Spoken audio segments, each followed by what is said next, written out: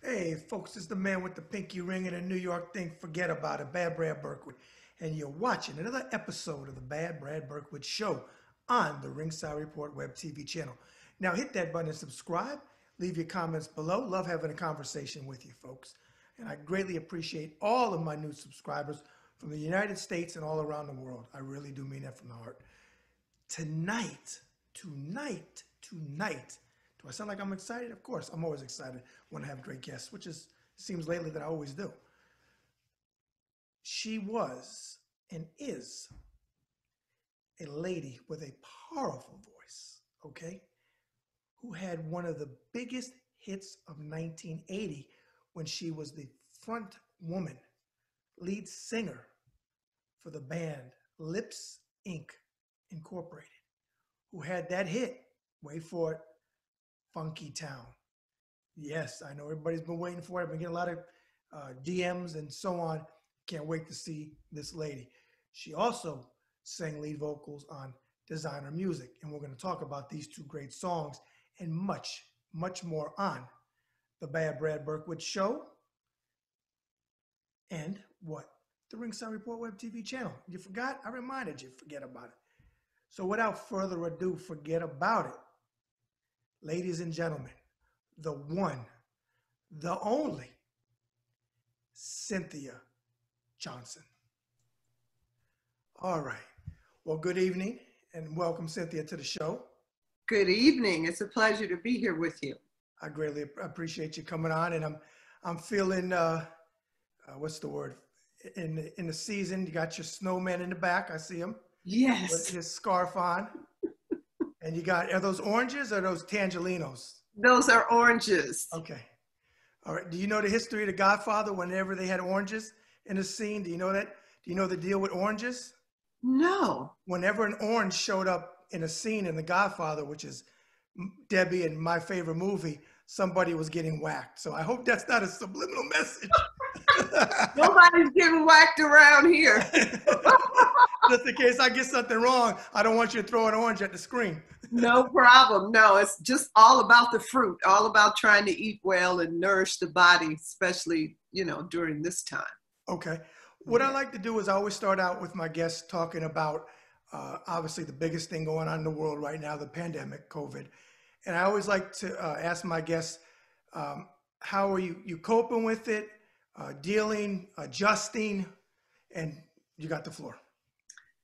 Ah, it's a lot. It's a lot right now because uh, it, it's you. So many people don't know how to arm themselves and take care of themselves, and we don't have any real information coming from our leadership that says this is the best way to take care of yourself. Besides the mask besides there are other things that you can do for your body to strengthen your body. So it's it's kind of frustrating for me because i have a background in nutrition and uh, the importance of eating properly fruits and vegetables nuts and seeds and, and getting to the basics in order to arm your your body. Um, it's upsetting and, and, no one seems to know how to really do that. And so um, i spend i'm coping fine. I spend a lot of time uh, preparing people who have gotten ill.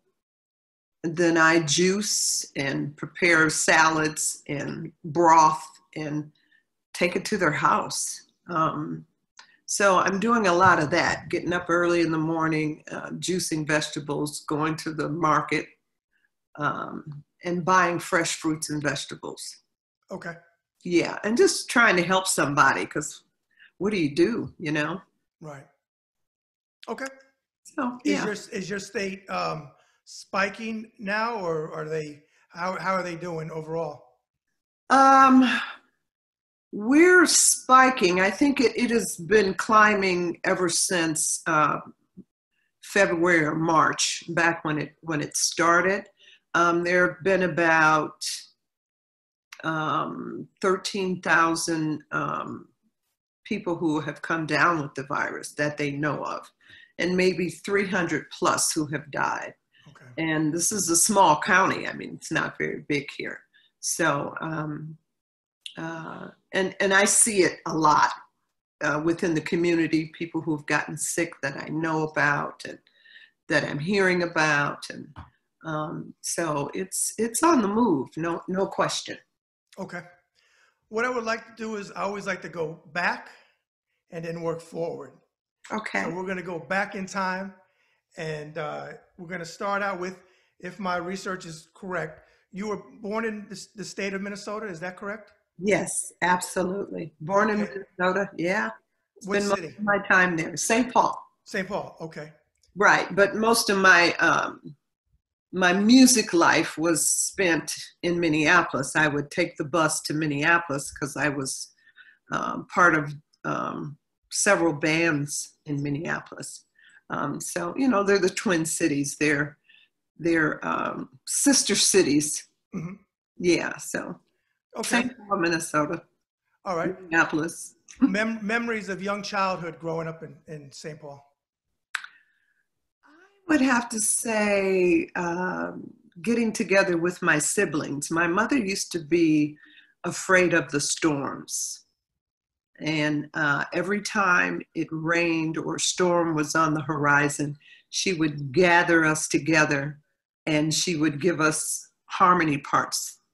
And she taught us how to sing. That's- And so we would end up having to entertain her during the storm okay, so she wouldn't be uh, frightened. And uh, that is a loving memory for me. okay. Family wise, musical family growing up? Or I, I, I know you what you talk about singing, all, but was anybody musical in your family when you were really young? You know, my father played the saxophone, uh, and uh, my mother was a director in the church choir. Okay, And pretty much that was it. There's no other uh, music history in my family. Um, Okay. But I, I really grabbed onto it because it, it was such a loving time for us to all come together and entertain my mother. It was just, um, uh, I, I was actually the only one that really grabbed onto music. okay. And you mentioned, which was my next question. Uh, I know about the singing, but I also found out in researching you, and you mentioned saxophone. You play saxophone as well. Absolutely. So you had singing and, and saxophone. Did one come before the other, or did they go hand in hand? Actually, saxophone came first. Um, well, I, I, I grew up, you know, my mother taught us all to sing. So I guess that came first. And then around my fourth grade in school, when uh, music was available, um, I took up the saxophone. I didn't want to play the, the sax, I wanted to play something more feminine. And uh, there was nothing else left. okay. so my uh, music teacher uh, convinced me to play the saxophone and uh, it didn't go over very well. My mother was very upset that i would choose um, the horn. She thought it was too much responsibility and you shouldn't do it and blah blah blah blah. And i thought that i would have to um, not play the instrument because she didn't like it. And I ended up, my, my, my music teacher convinced me if she didn't say a definite no, then I think you'll be okay. And so I played it and stuck with it. And uh, it was a beautiful addition to my, my music life. Okay. Earliest uh, musical, uh, it could be groups or any any artist. Very early on, though, in your life, who were musical influences in the professional world? I would have to say Ray Charles, the Beatles, Elvis Presley, uh, Nancy Wilson, Mm, Etta James. okay. Those were my earliest memories of music. Okay. A nice, a nice group. And That's a great group. It's Yeah, talking icons there. Okay. yeah, I loved them all. Okay. Move ahead to, if my year is right, 1976. Looked Mm. like it was a big year for you. If my research is correct, you won the 1976 Miss Black Minnesota USA. Yes, yes. That was interesting. Okay. I actually, um, and you know, every everything was an opportunity for me to do music, and um, I, I sang a gospel song that night and played the saxophone, and I think that was pretty impressive to people. There weren't a whole lot of female horn players at the time, and then I think that was sort of a, what pretty much cinched everything. Okay. Okay. And around that time too, you were in the band uh, Flyte Tyme. Is that correct? Yes, I was. Uh, Flyte Tyme really um, inspired me to play the horn uh, on a different level because I was just playing in the school band, and it had not occurred to me that um, being a musician was something that I really wanted. I grew up wanting to be an actress, and um, my mother said, I can't afford for you to go and I don't want you to leave. And that was the end of that. Okay. So I ended up, uh, I was singing uh, at a funeral. And a gentleman from high school that I knew, Joey Kareem, came up to me and he said, Would you like to audition for a band? And I said, Sure. And it happened to be Flyte Tyme. And um, I took the bus over to uh, the north side of Minneapolis, and there were nine guys there. Uh, my first real experience without my sisters. Okay. Um, and um, they had a huge horn section, and I was so impressed.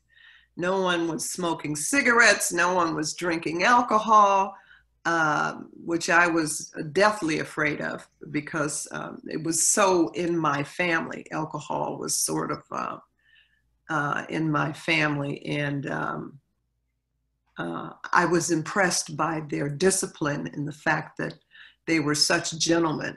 And um, once they knew I played the horn, that was that was it. Okay. So, yeah, it was great. It was great. Okay. And around that time, uh, this is maybe out of context, but out of that, that time, looked like is that when you met um, and you you wrote? Did you write with uh, Jimmy Jam and Terry Lewis early on? I actually wrote with Terry. Okay. Um, Jimmy Jam was not in the band at that time. Okay. Jimmy was in a rival band called um, Mind and Matter. And uh, we actually uh, ended up with one of uh, his keyboard players. Uh, Okay. and we all wrote um, Jelly Bean uh, Johnson, the drummer of the time. He was the uh, Flyte Tymes drummer.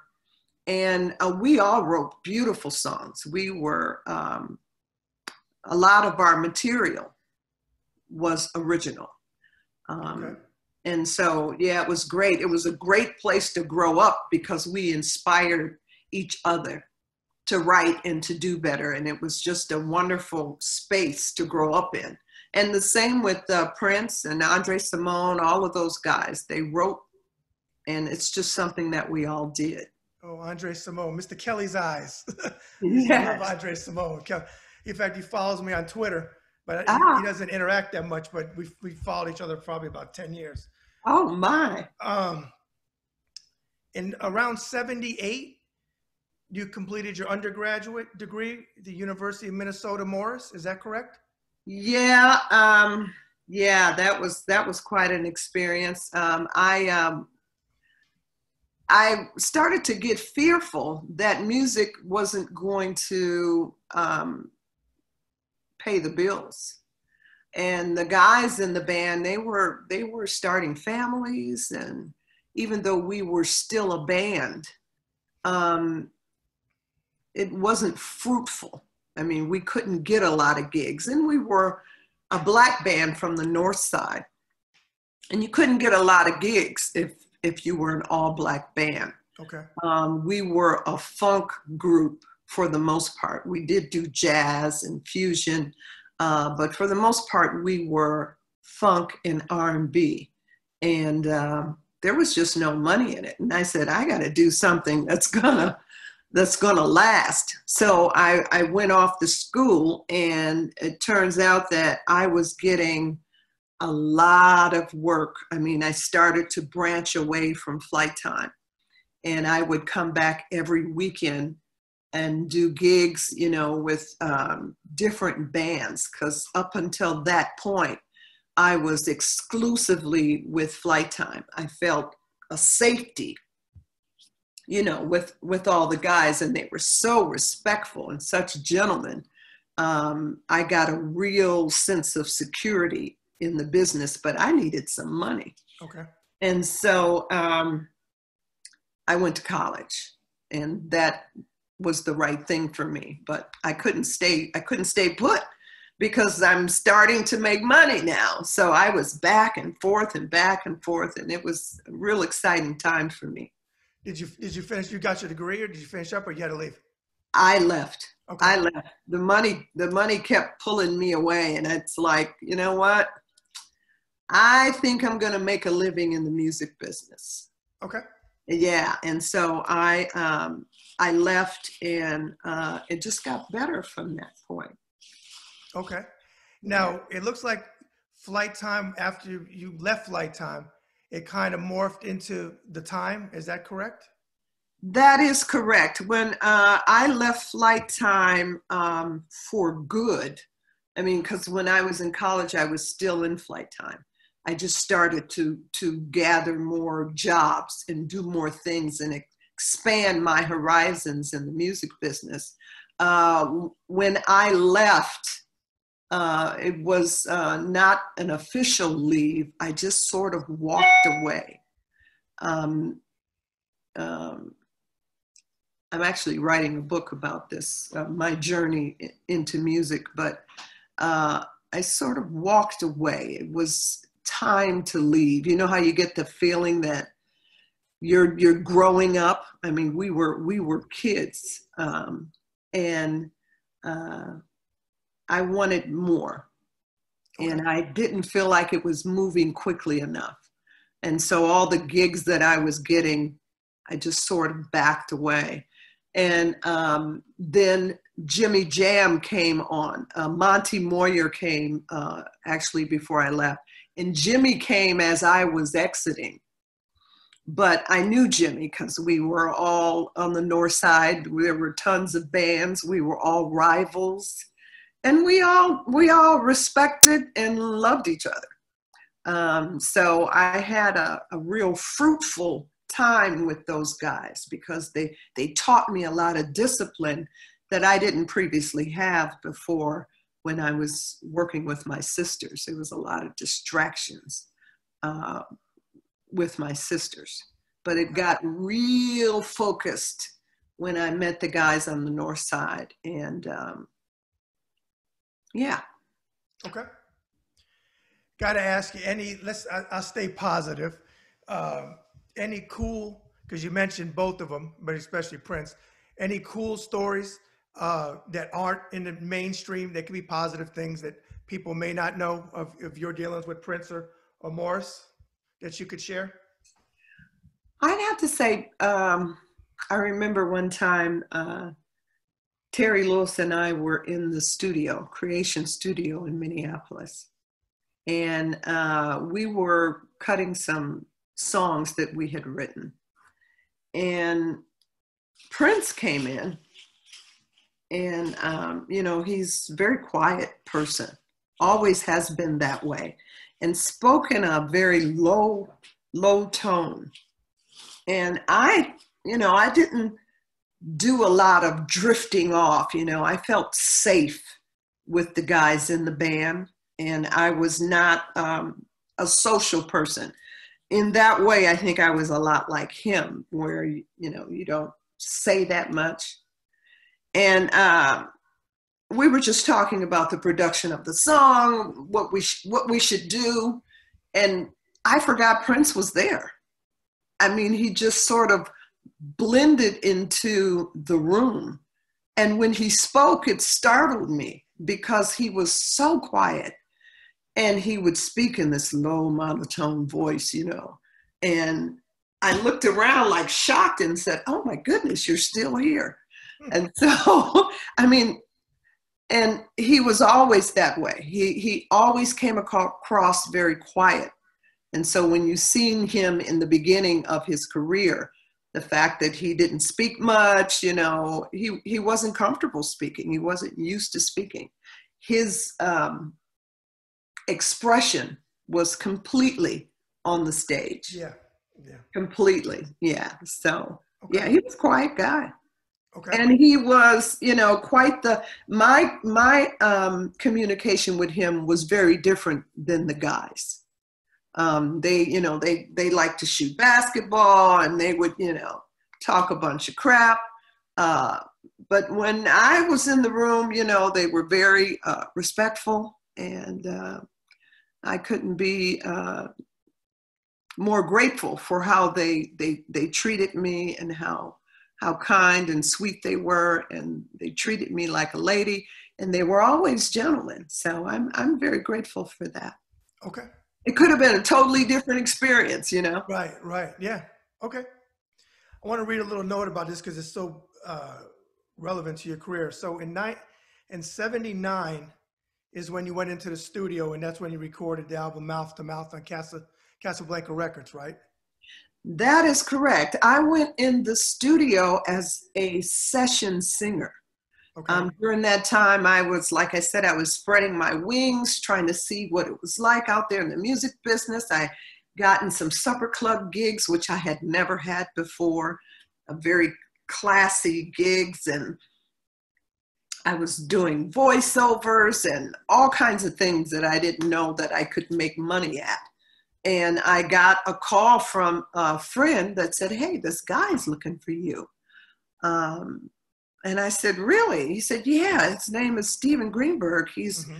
he's recording some uh, music, and your voice is the voice for it." And I said, "Really?" I said, "Well, okay." In some kind of way, we we connected, and um, I went in to do the session and you know when singers go in the studio they um, you know you get the lyrics and you listen to the song and they put you in the booth and you interpret the song. And um, that's what i did. I got paid and it was over. I walked out the door. Uh, never to think that um, it would pop up again. I did four songs for his demo, and um, that demo turned into the first Lipps Inc. album of four songs.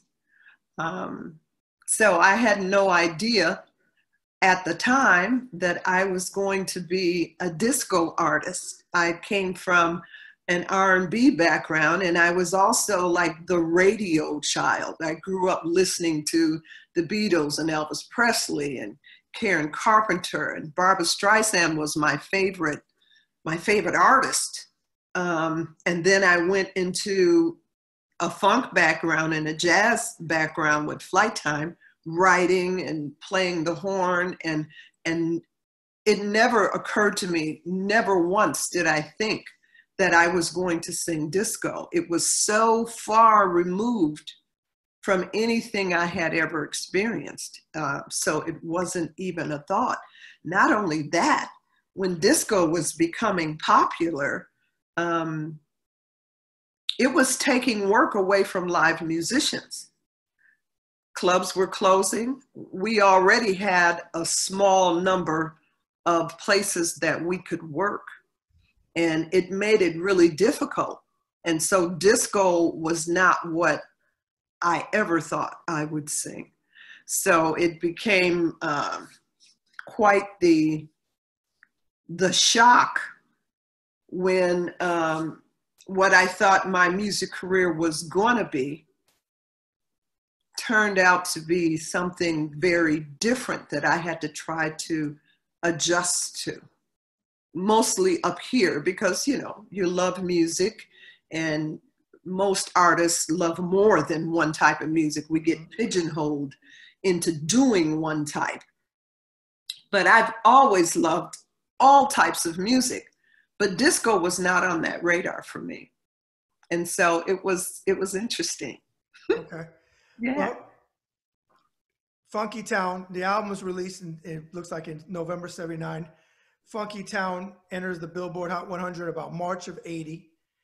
Uh, spent four weeks at number one from, if the, if the dates are right, from May 31st to Jan- June 21st, 1980. I was 12 years old uh, when this song hit, graduating in sixth grade. And we used to go to school dances and they would put on the, uh, the record player, the front of the record player would fold down like this. It was all one piece. The speakers were here. The thing would fold down. Put the, the you know what I'm talking about. Put the yellow, the yellow inserts in the 45 because they had 45s or two, and they put the 45 on, or sometimes they'd have the 33. So we would dance to the songs. It was, it was a huge hit, part of my childhood. Now, doing research, this is good. This is going to be fun because I, I want to get your take on this. So I'm going to be honest because I always am. I didn't know that you were the voice of Lipps Inc.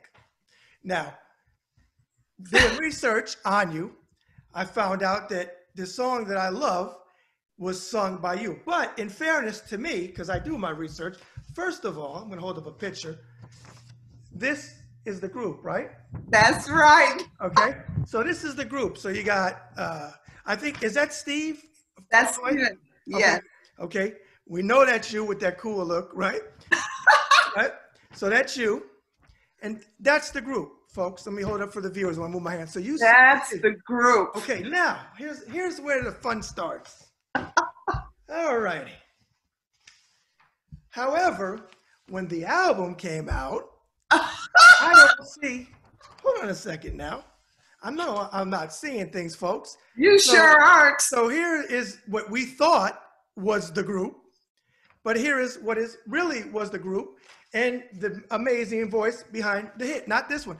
So Not that one. so you didn't do the Milli Vanilli thing. You actually sang where they didn't sing, but they were out front. It was reverse with you. It was reversed with me. They Milli Vanilli'd me.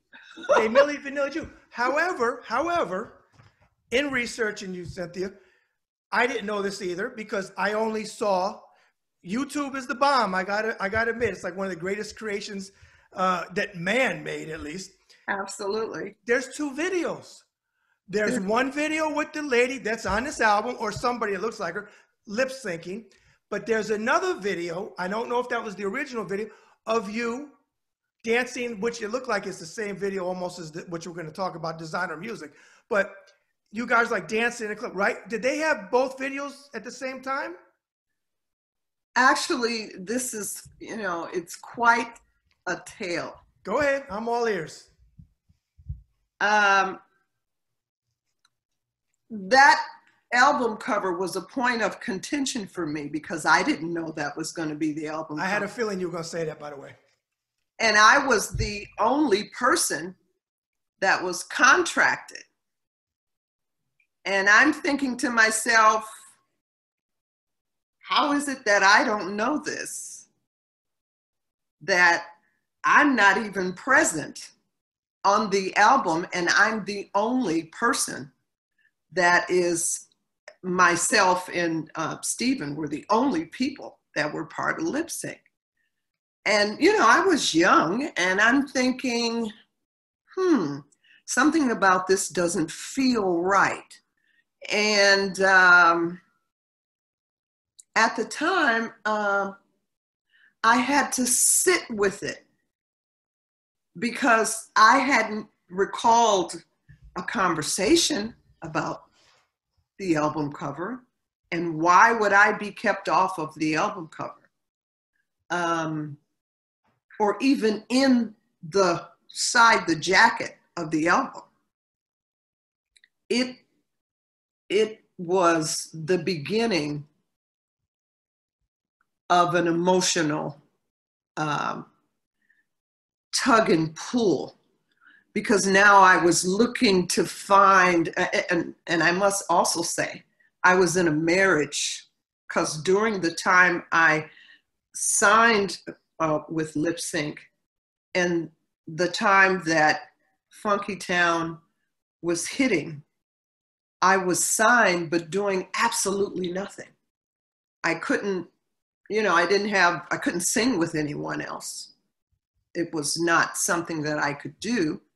Um, it was, you know, I was learning the material in the mirror. Hmm. And I was in a marriage that turned abusive. Mm, sorry to hear that. Yeah, and it was, and so, and then I I get this album cover, and so I'm not feeling much love in the world here, you know, uh, and uh,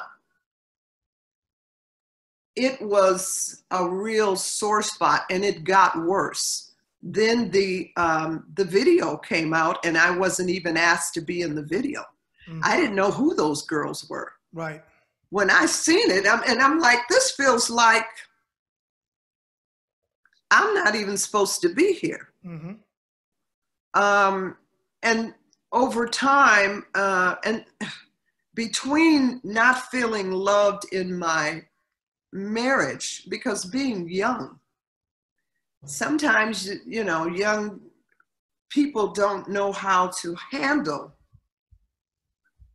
the success of something like this. But the interesting thing is, I wasn't doing anything.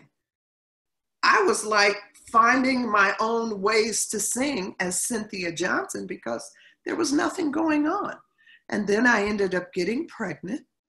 Um, and I had my daughter. And somewhere down the line, Deborah Jenner comes out as Lipps Inc a white girl in Europe pretending to be me. So now there are two products in the world pretending to be me, and I'm not on any of it. And the more time went on, I mean, there's a lot of things that happen Be- between being with the group and being uh, in my marriage and having this success that I was not connected to Right. on purpose. Maybe I, I still don't know if I was blackballed because I had a lunatic of a husband. Mm, Uh, or the album cover had nothing to do with it because that happened long before my marriage. okay. And so I felt like there was no love in the mix and that I didn't belong there. Because let- I came from music pulled me in because of the love that I felt around me as a child, Right. in my church choir, in my um, band with my sisters, with Flyte Tyme. It was always a loving, embracing thing. I was almost so completely naive because as long as love was in the room, I was good. Right. Sounds like a Beatles, a Beatles song there.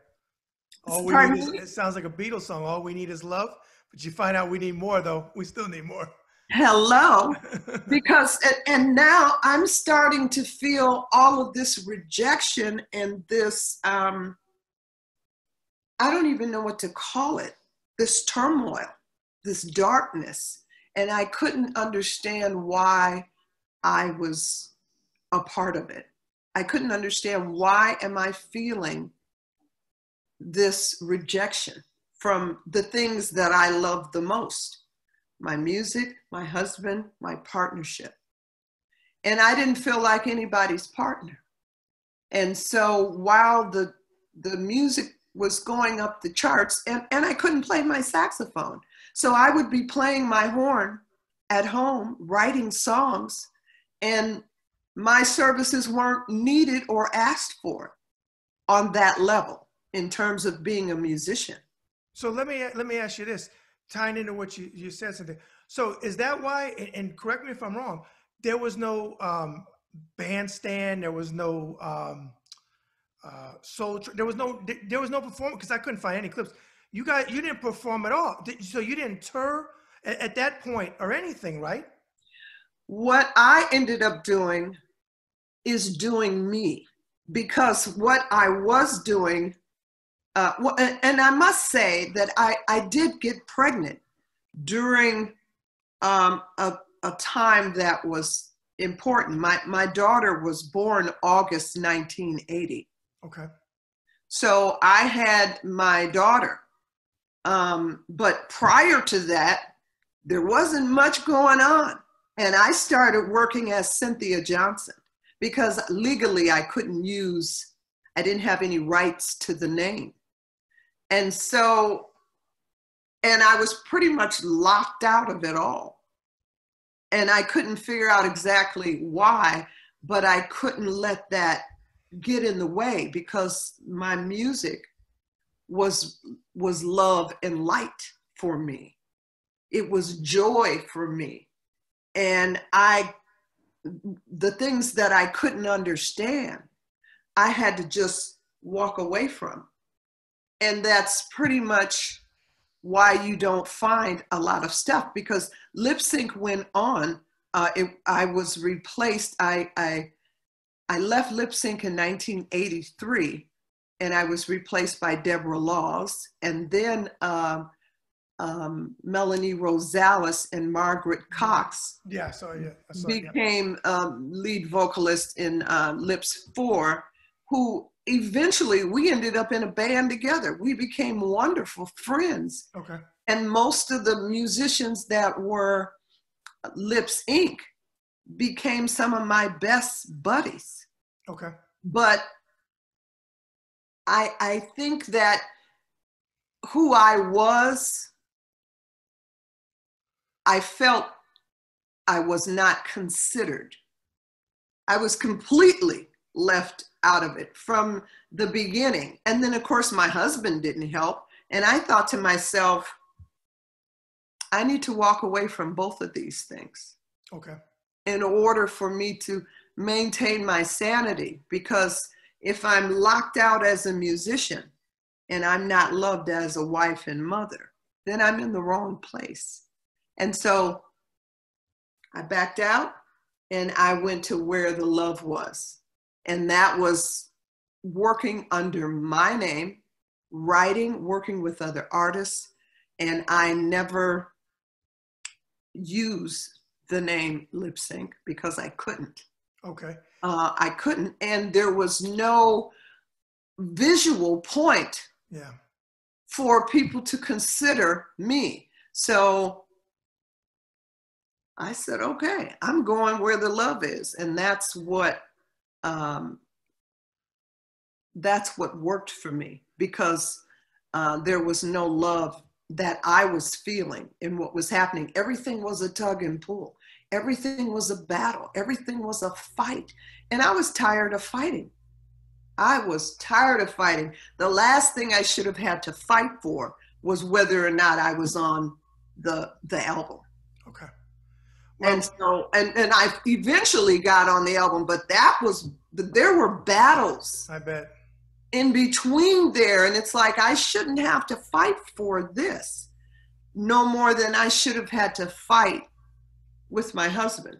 Nothing felt like there was a balance. Nothing felt like it was where I belonged. And I had a false sense of security with Flyte Tyme. They took care of everything. They were so respectful. Everything was wonderful. And here I meet this man who I marry, and all of that went out the window. And my music is something that I love the most, that gave me the most security. And it wasn't it wasn't working. And so yeah, you don't find a whole lot. Okay. Um, and that's the reason why That's you reason don't. Okay. Yeah. And Deborah Jenner uh, worked up as Lipps Inc for years. For years. And, you know, somebody came to her and gave her permission to do that. I mean, you don't just you don't just do that. As a matter of fact, she said it. So I'm not going. I you know I'm I don't blame anybody because you know you I got my side of the story, and then there's another story. You Well, know what got I your story out. Well, see, I'm glad that was a long tale, but I'm glad that you told that story because it's relevant. Because quite honestly, if I found that, it's not it's a secret. Other people have thought. See, that's why I like doing the interviews that I do because I like giving artists their chance to tell their side of the story. So I, I got to ask you, with everything that you just said and being very detailed. Well, first of all, folks, this is the lady's voice that you hear on that. So the song that I loved, okay, and danced to uh, in in uh, the sixth grade at Treasure Island Elementary School in uh, North Bay Village uh, in Florida. This is the lady. This is the lady that gets the credit, not the person that you see on here. Right. Once again, okay, this is not her. So I got to ask you very bluntly. This song became, as you know, huge. There's still it's still in the lexicon. I think that's the word of music or when they talk. I think if I remember correctly, wasn't it used in Shrek, the movie Yes. Shrek? Okay. So, so I got to ask you. I know you were a paid session singer, I guess. Did you partake in any of this, or did you did you get screwed, or did you get your fair share of this song? I'm not asking for numbers, but I'm saying, did you get anything? Because this song was massive. Yes, both. I, I got both. I Okay. I got you know my, my father used to always say, whatever you accept in life is fair. And um, so I fortunately my uh, husband and I uh, at the time found an attorney in Atlanta. And um, thank God that that was the case because you know nobody loves you in the music industry Oh, I know And- that's right. and you grow up thinking one thing and it always turns out to be the other and the artist is usually the one who gets screwed Yep. it's the people behind the scenes that navigate in their favor Money. It happens a lot and Mhm. i'm one of the lucky ones that actually did get paid because i actually did get an attorney and i actually didn't use the same attorney as you know i mean you know As we a music company that represents you and tells you, and I, and I can speak on this because I've had artists on my show, the Escape Club. They had the number one hit in the country, Wild Wild West, in '88. Not the Kool Moe Dee one, but the other one. Mhm. And they, in the end, they didn't get anything, and they had a lawyer that they trusted who worked for the music company that said to them, "Oh, we got, you, I got your best interest at heart," which we know it was. I don't want to curse, but was a bunch of crap. So. I'm glad that you did. I'm, I'm glad that it you did. happens all the time Yes. and the music industry is designed that way and what is so painful is that the musicians like the producers and the managers and the most of these people are musicians. Hmm and they don't have no love for you either. And it's just it, it's not a world that i just feel any goodness about because people chalk it off as business. So fortunately i did have an attorney and i did do what i thought was fair. But but i still didn't get what i was supposed to even then because a lot of that was taken from me and I didn't fight for it because I was fought out. But I do get uh, um, what I signed for in the contract. And, and I'm happy about that because uh, even though there's a lot of darkness in my story, because my ability to work was taken away from me Right.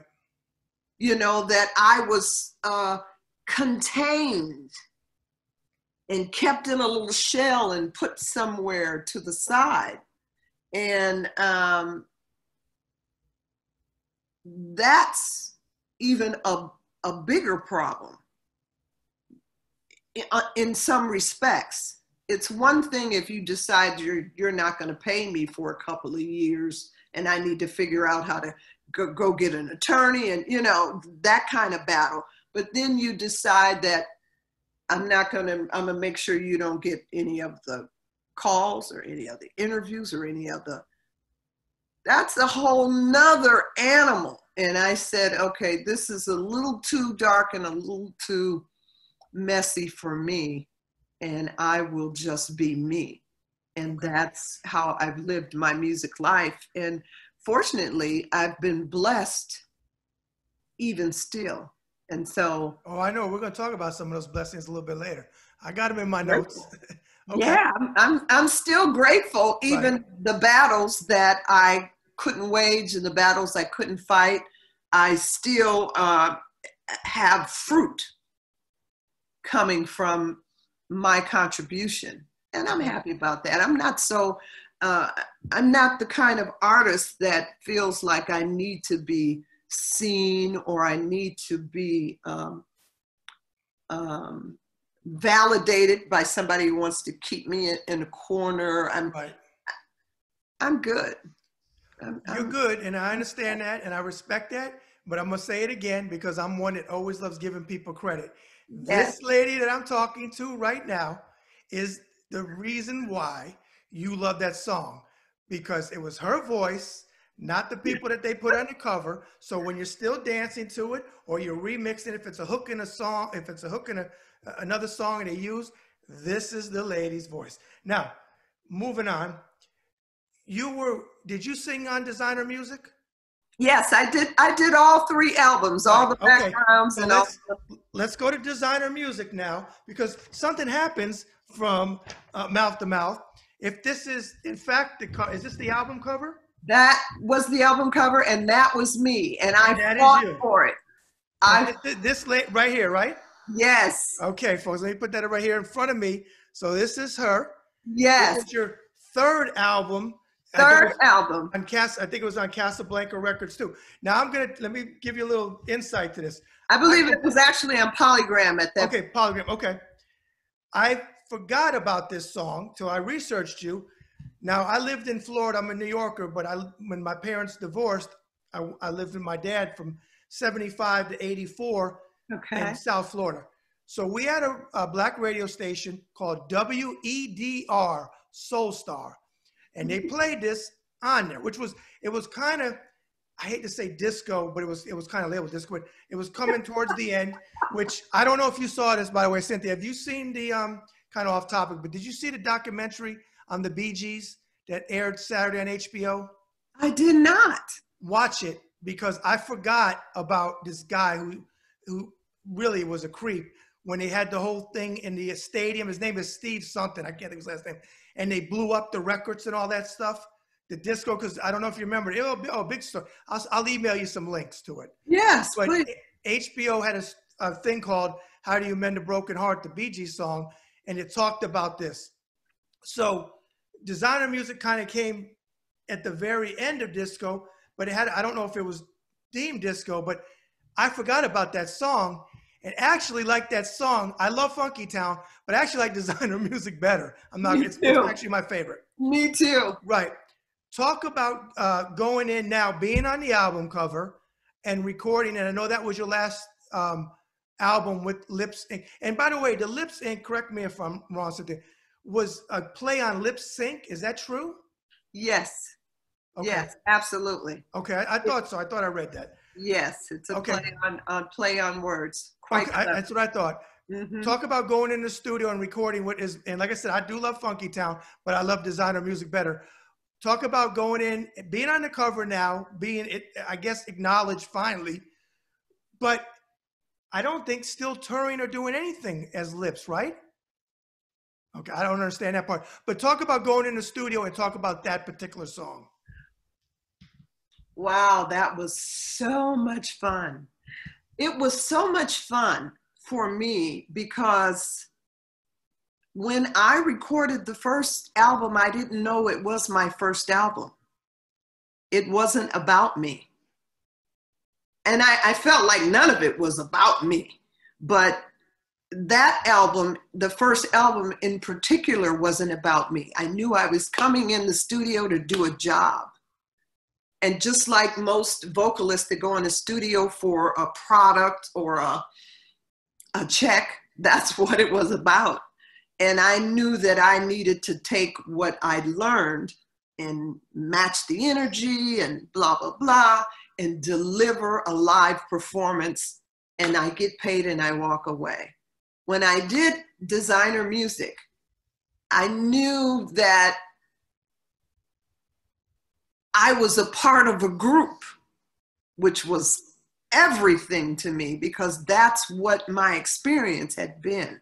That's what I loved so much is being a part of the group where we all had a common, you know, a common goal and and uh, when we were all in sync and on the euphoria that I would feel, it was almost selfish for me to get in the music. I, I didn't feel like I was outside of it. I didn't feel I was never the kind of artist that needed to be, I'm the star or I'm the front. I knew that I needed every instrument that was there that elevates me to a place that's very difficult for me to un, to for me to explain it to somebody because it was always an out of body thing for me that would happen. When uh, so when i did designer music i knew that it was a band that i was going to encompass and and we were going to be a family and um it was so much fun. Those violins mm-hmm. and mm-hmm. all of the music that was in there was just, I had learned to, to like what was happening because the first album, like I said, I wasn't connected to it. Uh, and I became connected later and then still didn't feel a part of it. Okay. And so um, there was a lot of turmoil still going on because it started with the first album. Mm-hmm. And that kind of thing is hard to shake.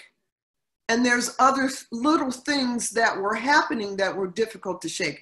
And I was in a bad marriage. I was still in a bad marriage, not having my band friends because my friends, Prince, Terry Lewis, David Eiland, Jelly Bean Johnson, then uh, Alexander O'Neal. Oh yeah, I loved Alexander. Sue Ann Carwell. All of these people were away from me and I couldn't access them. And I didn't want to burden them to figure out how, what do I do here? How do I, I, I don't feel respected. I don't feel acknowledged. Yes, I have the cover, but I want peace. I want some love. I want I want partners. I want a family of musicians mm-hmm. because that's all I knew. And so I was just in such a strange place.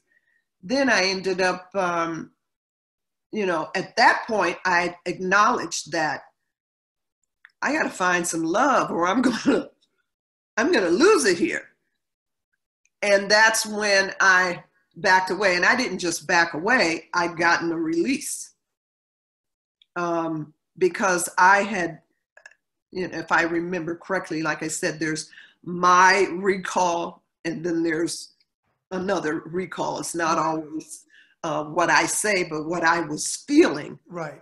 Is I don't feel respected or seen. And I don't know, we got to fix it and I ended up getting a release. And at that point, I said, okay, I mean, what do you do? And then I started working with other bands. I started working with people who needed people to work on their, uh, write their background parts, help them develop songs. I became that. Okay. And uh, and then I, you know, started working with um, Sounds Blackness, and yep. I just took a bunch of gigs Okay. And uh, a bunch of theater work, and and I didn't I didn't um, feel that I had given up anything. Okay. You know, because I was able to um, be with my children. It was a different life, but it was I, I was all right with it. Okay. Yeah. Moving on a couple years, found what I call, I always love finding what I call chestnuts. And I found one on you. Ah. I found a video, and it looks like the date was June 1st, 2001, live from the Fitzgerald Theater, with you out front singing with the ABC Youth Choir, performing Higher Ground, right? Yes. Okay. Let me tell you, I love this performance. Did, did I say I loved? I love this performance. First of all, folks, watch the video, Higher Ground, with Cynthia on it. You're going to notice two things. One, that she could sing her, her butt off, which we already knew that. Two, it looked like she must have been pumping iron because she's got arms that are like, you'll see what I'm talking about. That's funny. But you had all the young people behind you and they were dancing and I was feeling it. I, that was that was a fantastic and your voice just was out there. Oh, that's great. I love I love that performance. Talk about that recording or that that night or however it went down. Talk about that. That um, church was the church that my mother went to. Okay. and um, Nate Saban was one of the uh, writers at the church. Um, I'm trying to remember the pastor's name. How could I forget his name? And they had such an amazing youth choir. Oh yes. Oh, they were just amazing. And they were writers and they were full of energy and they were full of wanting to bless God and write music. And they had found out that I was a vocalist and they said, Would, would you please sing with our choir at our choir concert? And I thought, Absolutely. I mean, these kids were electric and, and so amazing and they shined so much that night and it was just a beautiful night the whole concert was amazing and those kids were I, I was looking at the the the, uh, the there was a church you said right? Well that that was at the Yeah, it was Fitzgerald. Fi- uh, Fitzgerald- Okay, I'm sorry. Fitzgerald. It looked like, and correct me if I'm wrong, it seemed like that place had good acoustics. Because I mean, it sounded great. I don't know if that was, you know, cleaned up maybe in the recording, but it sounded great. I no, mean, it was, it was it was a live recording, Okay. and the theater is a small theater, Okay. the Fitzgerald downtown St. Paul, and it was just great. And the audience, the place was packed, and it was just those kids. They just warm my heart every time I think about them. They just they just warm my heart. They, they were so awesome, so awesome. Yeah, I, lo- I love that. And Like I said, go to YouTube, Higher Ground, type her name in, boom, it'll be right there. You're gonna love it, and then leave a comment on the show. Okay, Yeah. you had mentioned um, Sounds of Blackness. I was actually gonna ask you about that. yeah So you moved on, and you were you were part or are part of Sounds of Blackness, which I know is a Grammy Award winning group. I've, I've- of course, I've heard of them. Mhm. Uh, talk about that experience. Um, Sounds of Blackness, I actually um, became a member of the Sounds before Lipps Inc. Okay. Um, the Sounds was a community choir that started at Macalester College by uh, Russell Knight and Gary Hines. They were the um, the founders of the Sounds of Blackness. Um, the Sounds um, do every type of music there is except for disco. They do, um, you know, um, the blues, rock, soul. They do slave chants and spirituals. They take the history of the African American and they bring it all the way up through time. Okay. And uh, the sounds was that family love that I always wanted. It's the thing that's been consistent in my music career is that there needs to be love surrounding the music and there needs to be that family bond. And they had that for me. They had uh, all of those elements and I was able to be creative, which is something that was always fostered when I was in Flyte Tyme. And I've always sort of held that as my guideline in the music business that I'm going to go where I feel love. Otherwise, I just don't belong there. And I'm glad that I held that principle because it's kept me safe. It's kept me from veering off into addictions, which is very, um, which is in my family history. I think I told you that Yes. before. Mhm. Um, and I've been able to be grounded sticking with those principles. And so uh, sounds was just an automatic thing that felt like a hug for me. And, Okay. and once you're in the sounds of blackness, you're always a member. So Gary still will call me and say, Can you do this gig? Can you do the a night before Christmas? Can you play this role? Can you? And it's a wonderful thing. So I'm still a member. As a matter of fact, my daughter's even a member of the Sounds. Oh, that's cool. Okay. yeah, yeah. Okay. All right. I, I recently interviewed, um, remember the show Barney Miller? Oh, of course. Okay. I recently interviewed Hal Linden, the actor who played Barney Miller. Yes. And you, if, if this is correct from what I found on you, and Hal have something in common, just different eras. Really? In the 60s, he was a singer and he recorded commercial jingles. Yeah. You recorded commercial jingles, is that Oh, true? Oh, absolutely. Okay, so you have that in common with Hal. So what I got to ask you, because YouTube may or may not have one of my viewers are going to be like, oh, we got to go and see if we can hear it. What's some of the jingles that we may know you from? Oh, oh, there's so many. My goodness. Oh, my goodness. You know, I, I don't stay married to those things. Okay. I, I go in the studio, I do the work, and it's a done deal. One one commercial that I really loved that I did, the song was amazingly written, and I'm trying to remember who was the producer on the job. It was a Rite Aid commercial. oh, the drugstore. He's Yes, own stock in them. Really. Yeah, he made a lot of money off of them. Yeah, I mean, it was a great song commercial, and it was it became quite popular.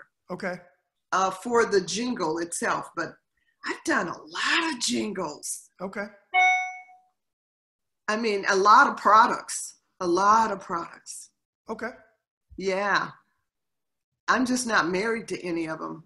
Rite Aid is the only one I remember because it was such a great song.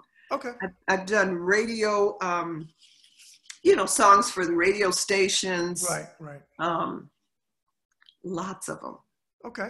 I mean, I'm in my 60s, you know? That's a lot of jingles. You say like that's a bad thing. Six, I'm not gonna say 60 because I'm 52 and I get tired that 52 is the new 22. No, it's not. No, No, no, it's not. I wish it was. Don't get me wrong. I'm, I still try to, you know, do what I can, but 52 is not the new 22. They need to No. stop that. They need to stop That's that. right. No matter how healthy and well you eat and you can do all those things, it's still not the new 22. That's exactly right. So, out of curiosity, and uh, watching you now in the interview and, and, and talking, we still got more to go. But you had mentioned acting, I know you said your mom said she couldn't afford to put you into acting. But just out of curiosity, because I didn't find anything, and maybe there's something here, maybe there's not. Did you do any uh, stage or did you do any type of stuff to, to kind of You know what? I, urge? I did a lot of theater. Um, I did a lot of theater, not as much as I would have liked to have done, uh, because music always pulled me away from theater. But my funnest role, and of course, I did a lot of acting roles with the Sounds of Blackness because they did a lot of theater. Okay.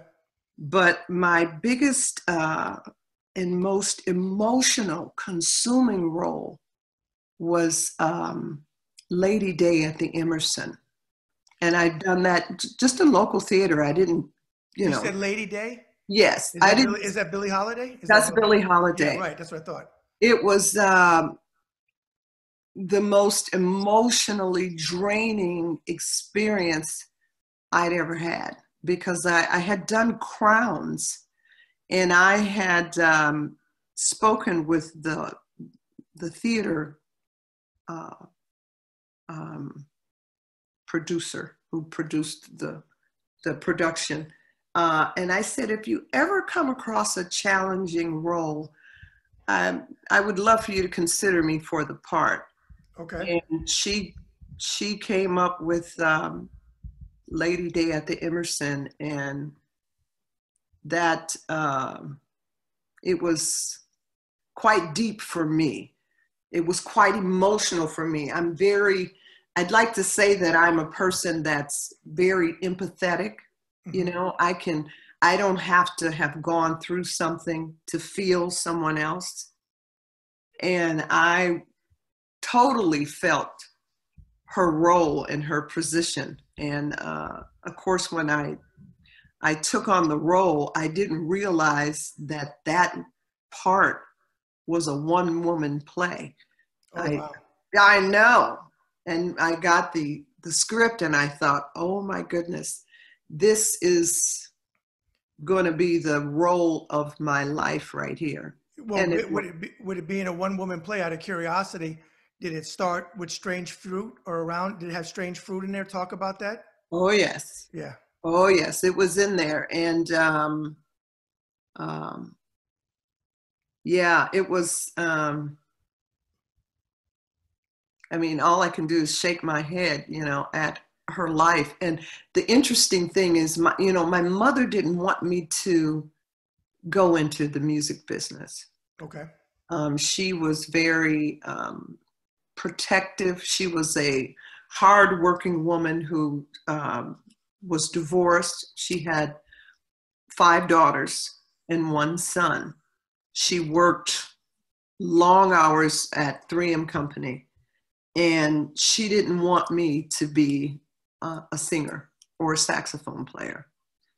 And she would tell me, she would say, Cynthia, if you're in this career, you could end up like Billie Holiday. And she was just afraid. And I didn't know who Billie Holiday was at the time when my mother was having this conversation with me. And it was interesting that I would come all of this way through all types of scripts and all types of music experience, hearing and and and feeling my mother's fear for of addictions and all of that and then to end up with this script about Billie Holiday and her addictions and her life it was Mhm. It was really something for me to play her. Well, I'm going to piggyback off you with Billie Holiday because I love Billie Holiday, and like I said, I always, I always straight honest and, and tell the story just the way it is. I wasn't the my father, God rest his soul, was 40 years my senior, so he was born in 1928. I was born in 1968. So I grew up on all of his musical tastes, and and one of them was Francis Albert Sinatra, which is my oh. down favorite singer of all time absolutely his favorite female singers were female was Sarah Vaughan first. He loved Oh, Sarah yeah. Vaughan, Ella Fitzgerald, and Billie Holiday. And when I was a kid, I always loved Sinatra, but I couldn't get into Billie Holiday. Well, my uncle Stan, who was in the music business, knew her personally. Okay, in New York when she lived in New York, and he lived in New York in the city. He kept saying to me, Bradley, Bradley, you gotta listen, you gotta listen. I can't get, I can't. I didn't understand Strange Fruit. I was too young to understand the lyrics. Oh, I know it and I get them now. But I, I honestly, I couldn't get into it. Finally, he sends me maybe 20, 25 years ago. Um, he had a machine that would take albums and make CDs, and he would send everybody CDs. He recorded Billie Holiday's, I think it was 1946 or 47 album, Lady in Satin oh yeah and it had "You've Changed," and it had, which is my favorite song with that she's. I know she's had other ones, but but I love wonderful. you, you've you've changed, and it also had because Sinatra had I won't say a hit, but had the the recognition on "I'm a Fool to Want You," and Billie did it. When I heard that CD, and I think the arranger was Ray. I don't know why I'm thinking Ray Noble. I think it was Ray Noble. I yeah I look. recall. That I don't recall. But when I heard that album of Billie Holiday, from that day, I called him on the phone before we had cell phones, and I said, "You got me. I love Billie Holiday. I get her. I understand her voice is one. And Sinatra adored her. Sinatra loved her. You knew. You close your eyes. There's only one. Certain song, certain singers. There's only one of. that's true One Billie Holiday. Nobody can duplicate her. that's true Whether you love her or you don't love her, that's right Nobody can do. You could try. That's right. There was there was Billie Holiday. You know, you have those once in a lifetime artists, and she was one of them. So I can imagine. I would love to see. You don't have you don't have it on DVD or anything, do you? Your performance by chance? No. Ah, no. I would love to, see, but I'm gonna tell you, when you talk about Billie Holiday, it resonates with me because, like I said, an amazing artist who battled her demons. She died, I think, in '59. In fact, mm-hmm. uh, I'll tell you one more story about Billie Holiday. Uncle Stan's uh, partner was a songwriter named Jack Reardon. Mm-hmm. He, he co-wrote a song called "The Good Life" and a couple other ones. He he recorded. I mean, he wrote a song called "Involved Again." Uncle Stan went to Billie's. I, will send you a link of it. It really didn't. It would have been a standard, but it didn't. It didn't. She was gonna record. Oh. So they went to her apartment in New York City, and when he opened up the door, Jack was a square. Uncle Stan wasn't a square. So they walk in and there's all this smoke. Well, you know what kind of smoke it was. It wasn't cigarettes. and he's like, "What is that?" And he was that square. He said, "He said, just breathe in, you'll be fine." And it was, of course, marijuana smoke. And in the back was Billie at the piano. And, and Jack is it was he was he passed away with a Caucasian man, and she had the, the the um sheet music for it. So she was playing it. She said, and you know how she talked in that that voice. She said, "You wrote that song." She said, "You wrote one hell of a song for a white boy because it had like a it had a, a, like a soul feeling." Uh-huh. He was young. He was like Jack was probably then he was probably about 23, 24 years old, and Billie Holiday was already you know iconic at that point. Mm-hmm. She was going to go in the studio and record it, and unfortunately, she passed before she recorded that song. I'll, I'll send you a link to the. Oh my song. gosh! Yes, but please send me the link. I will. Let me write. Let me write a note to remember. You know, the, the the it's uh it's a taste that you have to grow into. Yes. Because I didn't like Billie Holiday either. Growing up as a young artist, I mean, I wasn't ready for her. You know, it it came later on, and then of course I heard uh, I seen the movie that Diana, yeah, Diana Ross did and I like Diana's version better. Diana was a pop singer. And right. you, could, you could hear the pop in her voice. And that's, you know, uh, so it took me some time to come around to liking her. Just like you said, I liked Sarah, I liked Ella, you know, I, I liked uh, Frank Sinatra, I liked Doris Day. Really was not in my right wheelhouse until much later on. And I'm telling you, every night when I played her role, I was in tears. Yeah. And not only was I in tears, I was playing, uh, you know, it's a role where you're high the whole time. Right.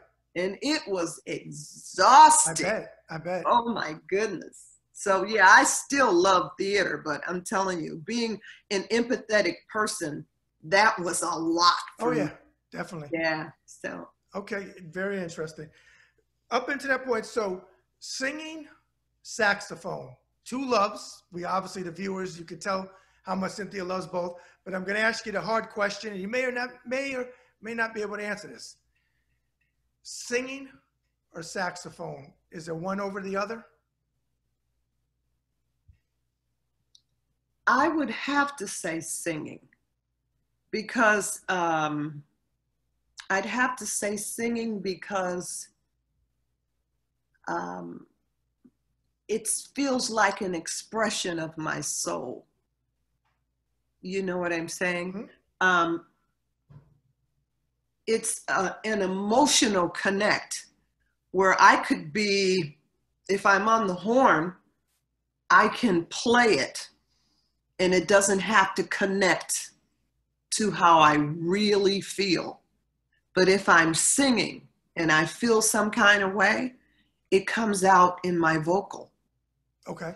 So, you know, I'm, I'm connected. My soul, my spirit is connected to the sound that comes out of my body when I'm singing. And the connection between the band members and the drummer and the bass player and the keyboard player and the horn players I feel like I'm a some sort of cell that's being electrified by every person who is a part of the music. and then the audience is shooting these um, is shooting something into me Okay. And i'm giving it back. And it just feels like some sort of uh, universe thing you know where uh, i'm a planet and everyone is feeding and taking energy and feeding. And it's it's an experience that can't really be matched by much. Okay. for me it's a, it's a very um, personal thing for me so singing uh, would have to be i mean the saxophone is great and i love it but it's it's not the same thing Okay. And I want to uh, make an observation of something you said for the viewers that are that are watching. You heard uh, Cynthia earlier say that she loved Doris Day, Barbra Streisand, Ella Fitzgerald, African American artists, Caucasian artists, oh and, yes and you're an African American woman, obviously. But here's the point that I'm making. I always say if there's one thing, because the world is a mess. It's not just the United States of America. It's a the world is a mess the world the world is a mess and it's not just covid covid is a terrible thing that's right we were a mess way before covid came yes and i've always said uh, when especially when it comes to racism and stuff like that that one thing that really does bring people together. And bridges color uh, sexual preference um, religious ideology whatever whatever it may be is music. It's It's music. it's and music. you prove that by naming some of the artists that you like. You're not you're not in a box. You like which you like doris day as well as ella fitzgerald. Oh Billie yeah. Holiday as well as frank sinatra. You know absolutely. you're you're eclectic in your taste and i tell people come out of your box you know it, you know we being in the military well not being when i was in the military i was in the military for 20 or 20 days and you used to tell Wow. my, my young troops that would say to me um, they were never around uh, uh, they were never around a, a black person or an Afro. Yeah. Then they said with black, or it could be a black person said I really wasn't exposed to white people. yes I would say, well, you want to know something? That I understand. I understand. So some things you don't know, you have to learn. But I'd That's always tell, right. I, I'd always say, but what do you, what type of music you guys listen to? And they'd be like, what do you what do you mean? And they would be, and the white guys would say R and B artists, or they, may, they might have said rap, or they might have said whatever type of music. And then the brothers would say somebody that they're like, hold, hold on a second, that's not a black. No, it's not a black because music mm-hmm. transcends it all, and it can it can bring you together, and that's what is is the beauty, and that's why I have such a um, immense respect for musical artists, no matter whether they're just a local guy at, at a pub performing. Even Yeah. if he's do, he or she is doing covers, and that's all they're ever going to do, and I'm not putting them down. There's nothing the matter with that. That's they're right. The biggest star in the world, Sinatra or Billie Holiday. The joy oh, that, that music brings to people oh my goodness it's just it's amazing and when you talk about it and i've had all these other musical artists the, singing those songs like you said singing even though you love the saxophone because it gives you that that feeling with people. Mm-hmm. There you go. And it then it and again it bridges because when you look into your audience you don't know i mean you might see color but you don't know what somebody you don't know if they had a bad day a good day That's but right. they might have the worst day in the world but they come and see you and you sing a song whatever it is and you bring them joy. Oh my goodness. does that Oh my goodness. And the love that you feel from the audience is amazing. Yes. And and I feel so blessed to be able to receive it right and to turn around and give it back in some way to make someone happy. I mean, it's it's been such a blessing in my life and and I'm grateful for the diversity for my white brothers and my black brothers and my Mexican brothers that we have played together Mhm. and loved one another. I mean, through the music yes because when mu- when musicians get on that one accord it doesn't happen with every gig and every night some nights it feels like a job Mhm. and you know people say well what what what music you listen to and i'm like when i'm done gigging i'm not listening to nothing I'm just, you know, decompressing. But the unity that happens is you can't, and you chase it like a junkie chases Yeah. some Right. drug. You Right. chase this feeling that happens. And to be a part of it is such a blessing. And I wish that I had been able to experience that with my brothers in Lipps Inc, which was not a diverse group. I had to fight to get one black person in that band. Somebody that I knew. I wanted somebody, I wanted to pull one of my Flyte Tyme brothers in the band, somebody that would be a, a uniter and just to pull us, because I didn't know any of those people. Right. And so when I couldn't pull them into the group, I'm like, well, can we diversify? Can we get, you know, can, can we get some, you know, other folks in here to make it feel, you know, like we're representing everybody? Mhm. And it was a battle. And then we got we got the one person in the band who was not gonna do well with the other people because I knew him and I loved him. We grew up on the same block, but he was the wrong man for the job that needed to feel like love. Okay. You know what I mean? Oh, I that needed to feel like home and needed Right. to feel like musicians because all the other musicians, I grew to love them, you know, but you know, you gotta, I needed to pull from my experience and I couldn't have any experience. okay. And so I made sure that everywhere else I went, that that was at the forefront and that connection and that love that I get can't be matched by anything. And I have no regrets because the love is real. That energy, you know, I, I get the energy from you. And, you know, we don't have any sort of history Right. but I can feel you. And that's important to me. Right. That's very important to me. I Oh, can't, feel- oh, I feel the same way. it can't be replaced by anything. Right. You you know you you know usually though we know people could be full of crap. And I'm gonna make a, a, a comment before we go into the second part of the interview or something you said. Um, in fact, let me write a little note here because I want to come back to it. Don't mention people full of crap. You, Right.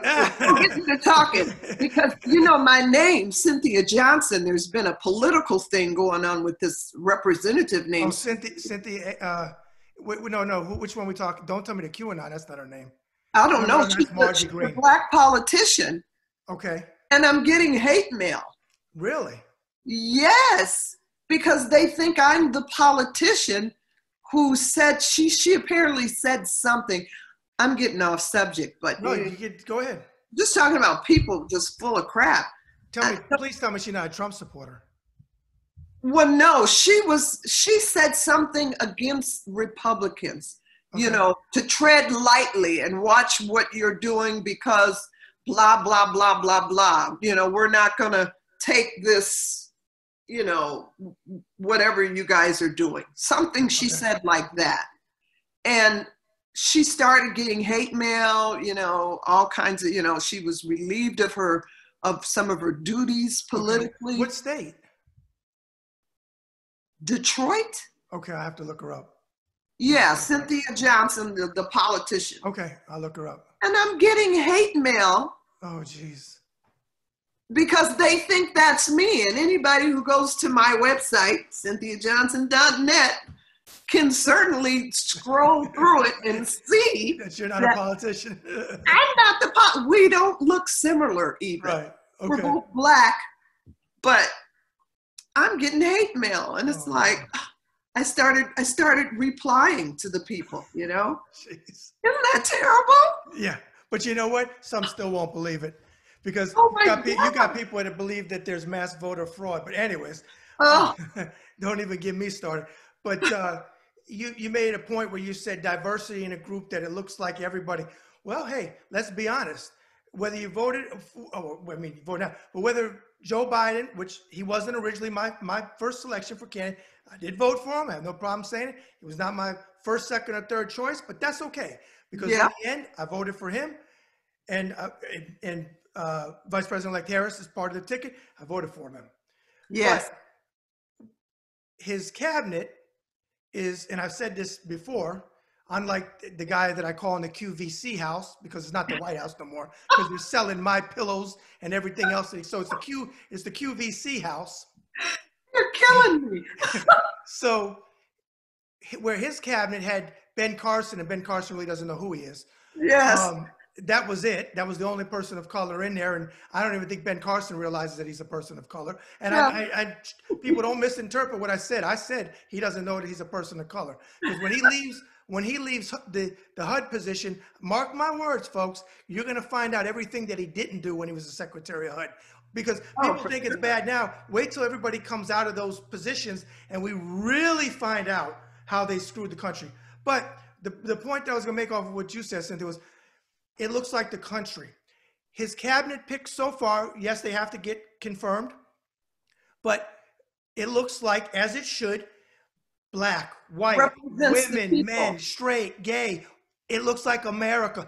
The mo- and don't get me wrong, you should pick the most qualified people. Period. We need the most at this particular Absolutely. juncture. We need the most qualified people. So I tell people of any any group, whether whether you're white, whether you're black, whether you're Hispanic, step back a little bit. I know we're very emotional, but step back.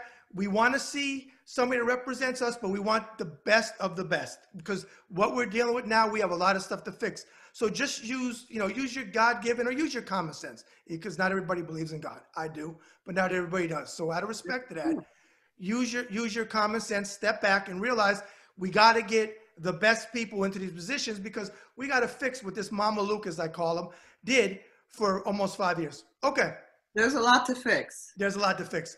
But with that said, let's segue into the second part of the interview, which is just random fun questions. No right or wrong answers. Whatever comes to you uh, spontaneous, that's the answer. Okay. All right. First question out the gate.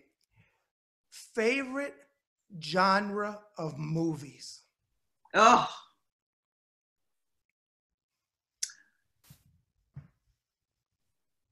I would have to say adventure sci-fi. Okay. I, I like um, like the Avengers, and I like sci-fi. So that's why I say um, adventure and sci-fi put together. Okay. no, you know what? A lot of lot of the musical guys. Um, Trevor Steel was a lead, is the lead singer of the Escape Club. He likes sci-fi, and he said he he said he actually said he's a sci-fi geek, and he watches. Um, he's got it on DVD. He says he watches six or seven times the whole the whole series. I think it's called Babylon Six. I think it's called or something like that. But he, Oh, he was, yeah. he, he was into that. Okay, so adventure and sci-fi. I usually say one. I know that's hard, but one or two, so the viewers can get a feel for you. Favorite adventure or sci-fi movies that are your go-to movies that you can see over and over again. Ah, you know, I like so many movies Okay. that it's um, it's hard to say. I like all most of the Avenger movies. Okay. uh, the Avenger comic book movies that you know that uh, like the Hulk, Okay. And I like uh, I even like a movie that was neither of those called Major Payne that Wayans Yeah, did. yeah, the Wayne brother, Damon Wayans. It's a family movie. Okay. I could watch it over and over again. I like, I've never been a big fan. So for me to say sci fi, I've never been a big fan of Star Trek Okay. or, you know, the ones that everyone loves. But I like the, the idea of going into space and finding a creature and all of these things.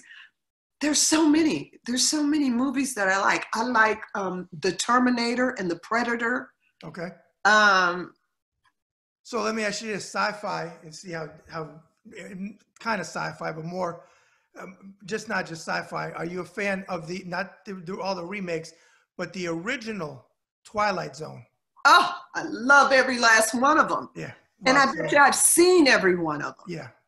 I love the Twilight Zone. Well, I'm gonna put you on the spot. Which one comes to your mind? the one where the guy wanted to read everything and not be bothered by people. And I'm gonna tell you who it is. Burgess Burgess Meredith, who played Mickey and Rocky, his trainer, and he played the Penguin. He played a lot. He was a big actor one time. And at the end of the episode, unfortunately, he steps on his glasses. Oh my gosh! I think I think it was called. It might have been titled. I have to look. Debbie likes that one too. Not not enough time. I think is the name. The Oh yes, and I was crushed. yeah, yeah. Great I one. like all of them. They I have the bomb. What blows up. The bomb blows up, and he's got all the books. Yes. He's just reading. He doesn't have all the distractions, but then he breaks his glasses. And he can't read a book, and he's alone. I know. I know. Crazy. Oh, Yep. Okay. Who is your personal favorite musical band? oh, that is so unfair. It is not even possible. Okay, I, two. you know what, what? Who comes to my mind first? Okay. I'd have to say Earth, Wind, and Fire. Great band. Because um, and they popped into my mind because they left such an impression when I was young. I seen them in concert at Macalester Co- uh, College in Minnesota, and I was just in awe of everything that was happening on the stage. The saxophone player, Maurice White, Philip Bailey, the, the rhythm section, I just sat there like with my jaw on the ground the whole time. And that's got to be the first concert that everybody was kicking. The audience was loving it, the band was electric. And so I would have to say that um, they left a huge impression on me. Okay. Um, there are so many All right, great. no, that's good. I'm not going to put you on that. You can't. Okay. Top, yeah, there you go. I know it's a tough question. Okay, so I'm going to tease you and add a little bit of uh, visual for the viewers. So you see, she has the bottle of wine back here. So this will tie in good with my question. Really? So, being a singer, a romantic evening. Now, I'm not going to say how romantic. I'm just. It could be just candlelight dinner. So we'll leave it at that. Ah, Where you go with that from there, that's up to you. But you're you're setting the table with candlelight, and you're going to have a romantic dinner with whomever. okay. Who are you putting on musically? Oh, I'm going to put on a variety tape, and there's going to be jazz as well as uh, Anita Baker. There's going to be some old school um, Doris Day and Peggy Lee. There's going to be Luther Vandross. There's going to be um, Bobby Caldwell. Mm, well, There's there. going to be right, this uh, is going to be more than romantic, but okay. Yeah, there's going to be, Grover Washington. Oh Lord. Oh, there's going to be there's going to be a, it's a mixtape. Okay. It's a mixtape. All right, I'm, I'm gonna let the viewers under, uh, go why I'm laughing at that one because that's gonna be more than romantic even. Okay. All right. That's that's a great compilation. Very good. Okay. Favorite, if you have one, if not one or two, but whoever comes first to your head doesn't mean that's the only one. I know it's a tough question, but solo male singer. I love Kurt Elling. Okay. He's a jazz man. Mm-hmm. I love um, little Jimmy Smith. He's a jazz man. I love uh, Well, let me let me ask you. Hold on, I'm gonna stop you at little Jimmy Smith. Is little little Jimmy Smith? I think I think I know who he is. Is he the one? And if you might not, maybe you saw, so you didn't. He almost sounds. I know he's, he's passed away, right? yes. Doesn't he almost sound like Billie Holiday a little bit? He sounds like Nancy Wilson to me. Okay, but is he the one that Joe Pesci got with? Joe Pesci. I got a. There's a guy named Little Jimmy something. I don't. You said Smith, right? Yes. Okay. When we get done with the interview, I'm gonna look it up. I'll email you. There yeah. was an artist that was from New Jersey. He never made it big, but he was popular. That's him. He record. I'm almost positive. I could be guy. wrong. A black guy. Oh yeah, yeah, yeah. No, right, right. Black guy, Black guy. very tiny dude, really small. recorded. He did record. If it's the same guy, and I could be wrong because I've listened to him, he did a cover of "The Nearness of You," which is a great Oh. standard. That's him. He recorded you. Oh, you don't. Oh, I. Oh, wait till I send you this. You're gonna. You're That's gonna him. okay, you're gonna take one of those bottles of wine back there and pop it over. I know the song. I know the one you're talking about. He recorded. Joe Pesci put him in the studio. You know Joe Pesci is the Of actor. course. Because Joe sings. I'm not saying Joe is great, but he sings. He put him in the studio with him, and they record. I'm gonna sing it. I'm gonna. Joe Pesci sing? Joe Pesci. Yeah. Oh yeah. I'm gonna send it to you. He sang on the nearness of you. Jimmy died like a year later, because Jimmy, if if it's the same one, I know it is. He was in New Jersey, and Joe talked about back in the '60s. He used to go to these lounges, and Jimmy was there, and it was very segregated in New Jersey. And Joe's an Italian, as you know, and Yeah. he, but he loved Jimmy, and they and Oh. he said it was rare for an Italian and a, a, black guy to bond. And Jimmy took them every, and they fell in love with each other. I'm gonna send Oh. it to you. They recorded an album. He was wonderful. Yes, he I- sure was. He, he used to come to Minnesota and sing at the Dakota. Light skinned guy. He's light skinned. Yes. That's yes. him. That's him. Real, real little guy. And yes, tiny. Nancy Wilson, when you listen to him Okay. play some of her stuff, she mimicked him quite a bit. Okay. I, I believe Yeah. it. I'll check him out. Okay. I'm gonna send it to you. I Oh. got a note to send you that. I'm gonna be sending you an email with a bunch of stuff. I can't wait. Yeah. Okay. Jimmy was amazing. Um, I like, uh, I'm trying to think more up to date. No, that's cool. You're good. You're good. You covered it. You're good. Uh, You like who you like, even though it's up update. No, you're good. Now, female singer, you said Barbra Streisand. You're gonna go with Barbra because the flip is who's your favorite female singer? Um, I'd have to say there's a few. Barbra Okay. Streisand, Chaka Khan, Love her. Karen Carpenter. Okay. The the uniqueness of those three vocalists um, just really lit my world completely up, especially Barbra Streisand, because I grew up listening to Barbra, and I learned all of her songs. And then when she did that album with the uh, one of the the Bee Gee guy, Yeah, Barry Gibb, oh the woman I- in love. Oh my goodness! I mean, Barbra is hands down the woman I wish I could have sang with. Um, you know, just once, just one time. Um, Did you see the early clips of her when she was on a Judy Garland show? yes, and her acting ability. Yeah, and directing, and And- directing. She direct. She directed Yentl. Oh, oh yeah, that's she's directed, and she's she's done some other stuff too. But she's she's a heck of an act. She's a hell of an actress, I should say. She's, she is. she's multi-talented. She's multi. she's multi-talented and i would have i would have given a lot to have been able to just spend some time with her um, and she's and I she is find- very outspoken. Very outspoken. She Yeah. uses her platform, whether you know it's not always the safest thing with you know business, but she doesn't care. Plus, at this point, realistically, if she she's worth you know more than gold. that's right and, and you know what? And I'm and I'm happy for it too because it looks like she's been married to James Brolin. I think for about 22 years now, which it looks long like time it stood the test of time. I tell you what, my my favorite, um, and it gets panned, but I loved it because it's been made. Let's see, in the 30s. The so it was made. The original was with Janet Gaynor and Fredric March. Uh, Star is Born was made in the 30s. Then it was remade with Judy Garland in, in the 50s, which was a great one, and James Mason. yes It was recently done with Lady Gaga and Bradley Cooper, but my favorite one is the 76 version with her and Kris Kristofferson.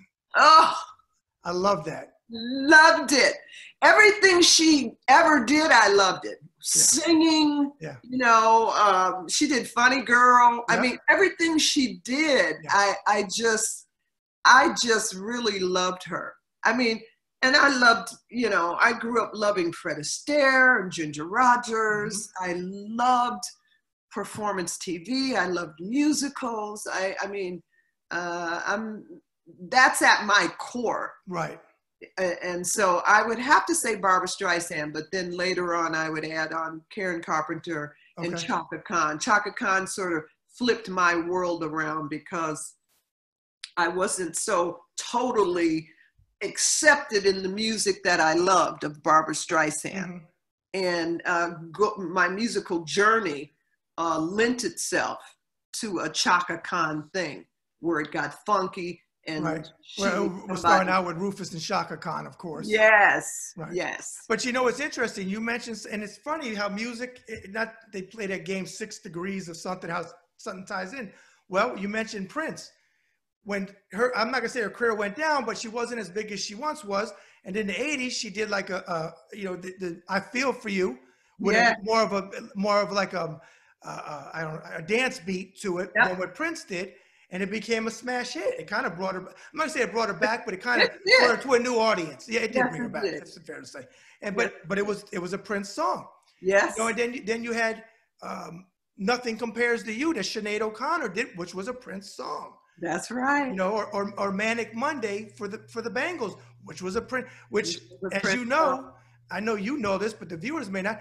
Prince also wrote a, wrote under a, a pseudonym Alexander Nevermind. That's which was- right. I'm pretty sure that's what it was. And Yeah. He wrote some of these songs that other artists had big hits on. Okay, so so Barbra Streisand. Yes. Also, the singer question that I ask: You're in the shower, or you're jogging, or you're on a long trip in the car. What song comes in your head frequently that you start humming, or or just it's one of those songs, whether it's something you sang or somebody else, but you it's just a feel good song and it comes to you a lot. You know, I always get in the shower and I sing something that no one knows. It's a song that I wrote with this old gentleman, and they called him Joey Two Step. And he was a dancer, and Okay. he was a little white guy that I absolutely loved him. He was a fan of mine, and Okay. I used to sing in a band called um, Dr. Mambo's Combo okay, and I sang in that band with um, Margaret Cox and Melanie Rosales, who also did Lipps Inc 4. gotcha. And I met him, this old guy, and we wrote a song called Strange Moods. And the, the words, it's such a smoky jazz tune, and it's something that really gets my diaphragm and my my um, brings my vocals to life Okay, and the, the lyrics our oldest strange mood has me feeling kind of low misery's coming to me and i'm feeling sort of gloomy so pardon me if there's tears in my eyes but strange moods often make me cry and then it goes on to talk about a love affair okay, and I just love this man, Joey Two Step. And the song we wrote was amazing. And maybe I'll I'll do a jazz album and and put it on there. cool.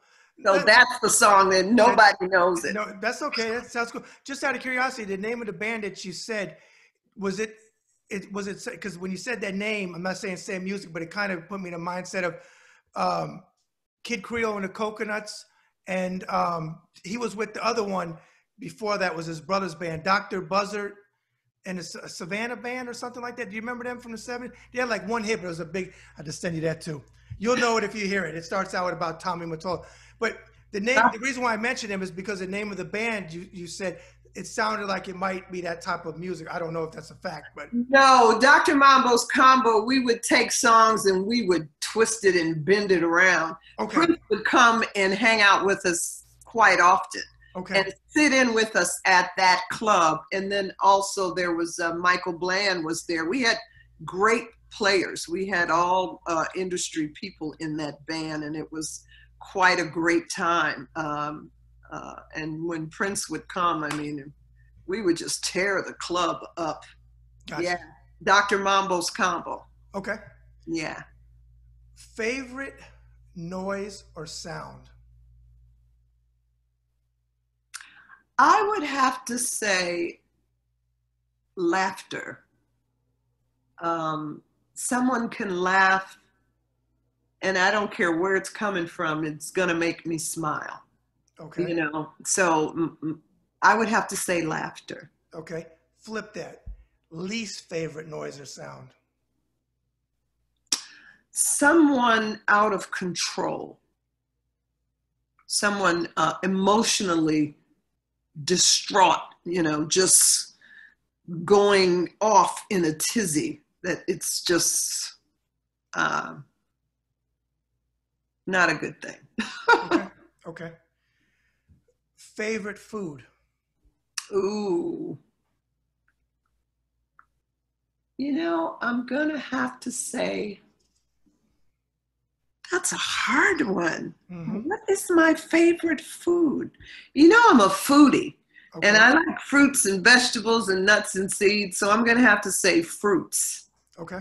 All fruits, tropical fruits, all kinds of fruit. All right. If you could hit the lottery, now when I say lottery, I'm talking about two, three, four hundred million dollar lottery. Boom, you hit it. What would be the first thing you do? Oh, the first thing is a difficult thing. I'd get an attorney. That's the first thing, but the first thing I'd want to do is open up a homeless center Okay.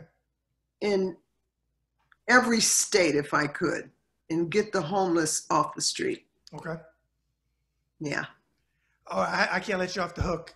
Uh, uh, Get an attorney for who you suing now. You know what? I, I, I wouldn't sue, but I know that I would have so much money. Oh, oh, get it. To, oh, okay, I'm sorry, I misunderstood. Get an attorney because I see. I misunderstood. I would have so much Yeah. money that I think I would need an attorney. No, you would need several. Yeah, I, I got you. I didn't know you was going with that because we had talked about. Yeah, I thought maybe somebody you needed. Okay, I see No. what you're saying because of the because of the money. I got you. Yeah, all of I'm that tracking. I'm tracking. gone. I'm, I'm way ahead of that. I got you. Okay, I got you. Uh, pre-COVID, favorite vacation destination. I would have to say Costa Rica. Uh, anywhere where there's plants and tropics, uh, even along the water, um, nature. It could be anywhere. Okay, Yeah, I love nature. all right. Do you have a hobby? Um, I do a lot of things. You know, right now I'm writing a book from Funkytown to Higher Ground, and I'm about done with that. So I enjoy writing, but I would have to say um, I'm learning uh, guitar. So I love doing that. I like, um,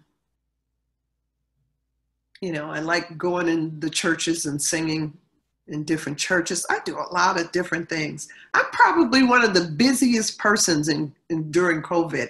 I like to juice and give people nutrients and things like that, and just um, try to make sure people are eating well. So I do a lot of stuff. Okay, And so I don't know, uh, I can't pick just one thing that I like. I like to walk along the river, you know, um, that brings me a lot of peace. okay, know, I got a lot of things that I like to do. good. Now, if you could meet one person from any time in history, and they could be dead or alive, who would you like to meet, and what would your first question be for them?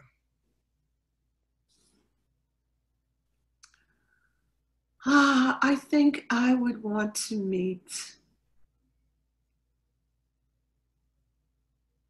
one person, one person. I would have to say Jesus. And my question would be what are we supposed to do with this?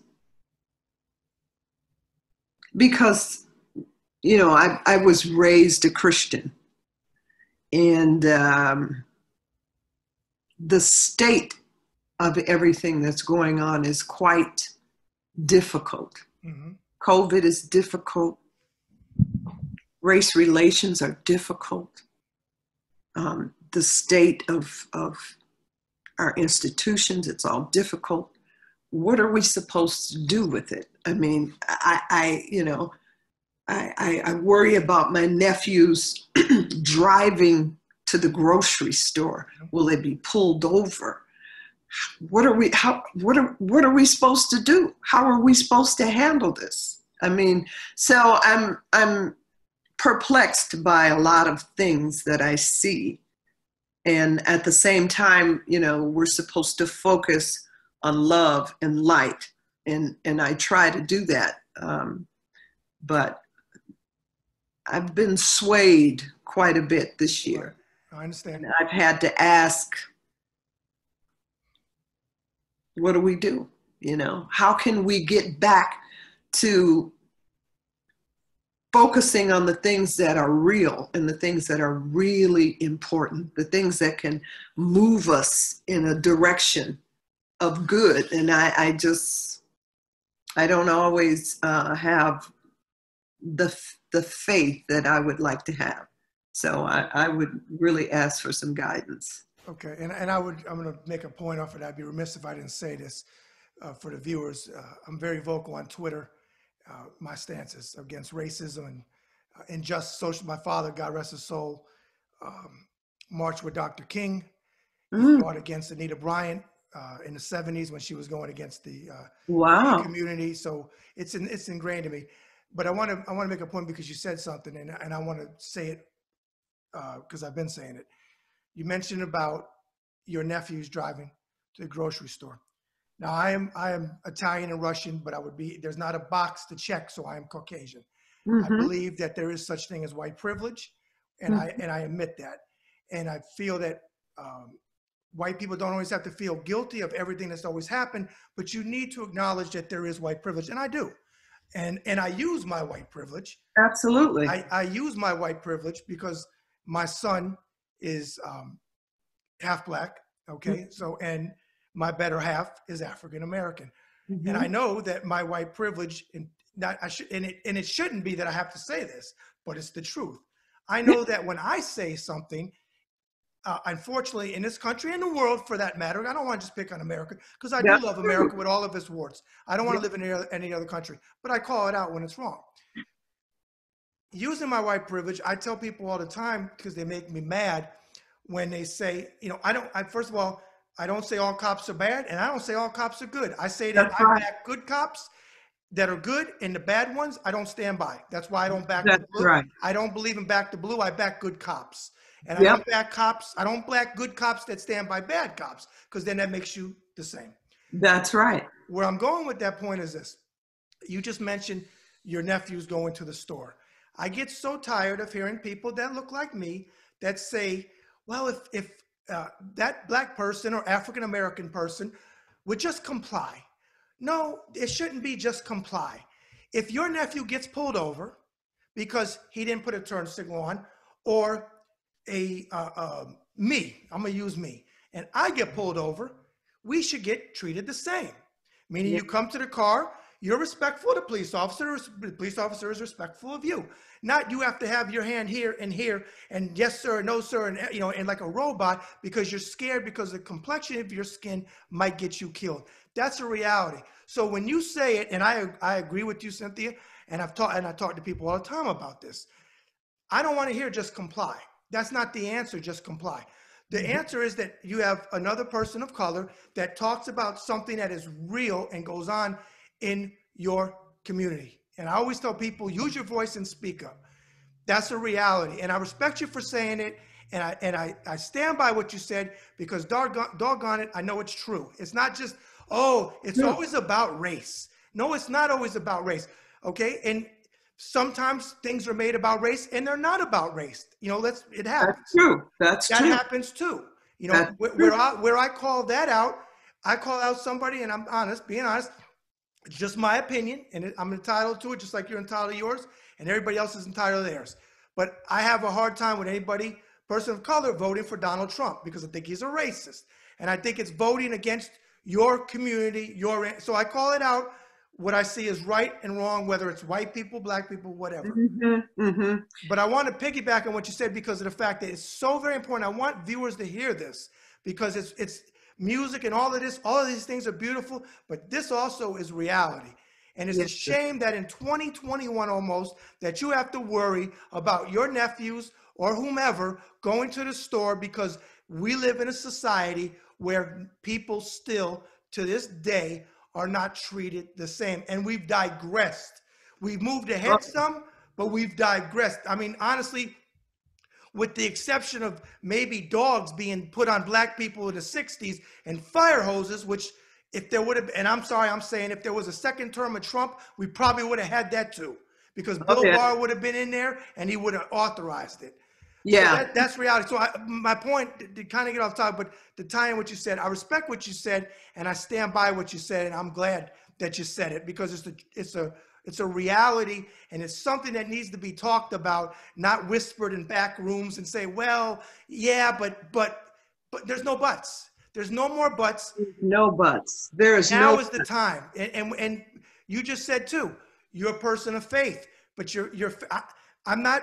I'm not. I don't believe in organized religion anymore, but I'm very spiritual and I believe in God. Mhm, Okay, mhm. it's a whole nother show if I if I would explain. But Right. you said it's hard because your faith gets tested because Yeah. you, you know, and I understand, and I think God understands it. I I literally said to Debbie yesterday in in the car that God gave us to me the strongest thing that he could possibly give man free will Free will. what we did with it though his heart has to be broken and and you know i'm not a i'm not a um a, a extremist on one side and i'm not extremist i'm trying to be down the center hmm but what we've done with with free will across the board all people is not is not relegated um, um, to one race one gender one That's right. ethnicity, uh, ethnic group across That's the right. board That's what right. What we've done with it is just it's and, and I'm piggybacking off of your other thought because of great talking points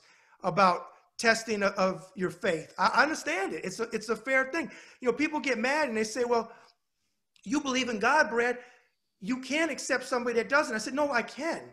I can accept somebody that that as long as they accept that I do. You know, Yeah. you know." As long as you you accept where I'm at, I'll try to accept where you're at. Most of the time, I will. As long as you're not pushing it down my throat But, Right.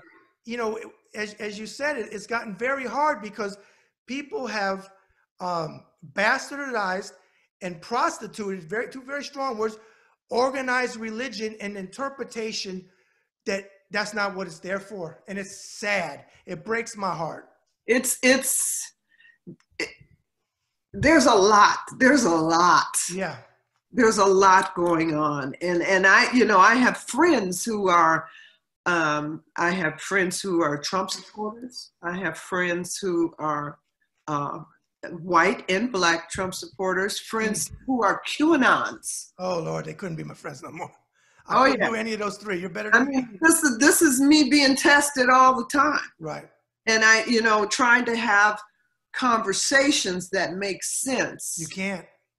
it's so difficult You and, can't. and and still be loving and still you know not i mean it's it's difficult and and me a woman in my 60s have been pulled over on the freeway with a gun drawn i mean so i know this stuff is real Yes. and it is hard to navigate and stay hopeful I have my good days and I have my bad days. You know, my good days outweigh my bad days.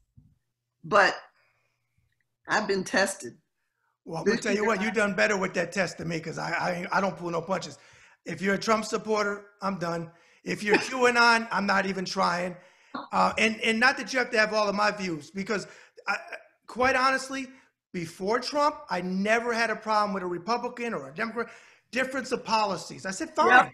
I, and, I'm not, and I, and I never became. I'm not really political. People think I am because I'm so outspoken, but I'm really not political. I'm, I'm really in the middle because I'm, I'm a liberal on social issues and Me I'm a too. conservative on fiscal issues. So I'm really, Yep, of- me too. you know, I, I believe in a, a hand up, not a hand out. You know, Yep, I, I want people hand up, but not you can't you can't just be on the, on the government tip your whole life and not try to get ahead. That just that's just me talking. But I agree. but you know, I, I had this discussion with Mary L. Trump, uh, his niece, who can't stand him, and and we were in agreement. I said, Mary, I, I can't. She said, Oh, I understand. She's a psychologist, so when I talk to her, it's like a free session. But but you know, it's I said I, I can't do it because I said you said you got friends that are Trump supporters. This, this is just me. I'm not trying to sway you, Cynthia, but this is just me. Because my son is is half black, because Debbie is African American, I feel if and, and Donald Trump showed you there's no oh hi because their favorite is how do you know he's a racist? I'm not even going to spend another 40 minutes on the show explaining because you know how. I already know. Right. He show he doesn't hide it. And But the, my thing was, if you support a racist, okay, and you know he is what he is, the least he's the least racist person. If if they asked him if if you had to ask God for forgiveness, he said nothing. Who says nothing? I've got more things. I, I would be. It would be like a, a, a laundry list of things I'd ask God for forgiveness for. But I I agree with everything you're saying, except I can't become that person in the opposite.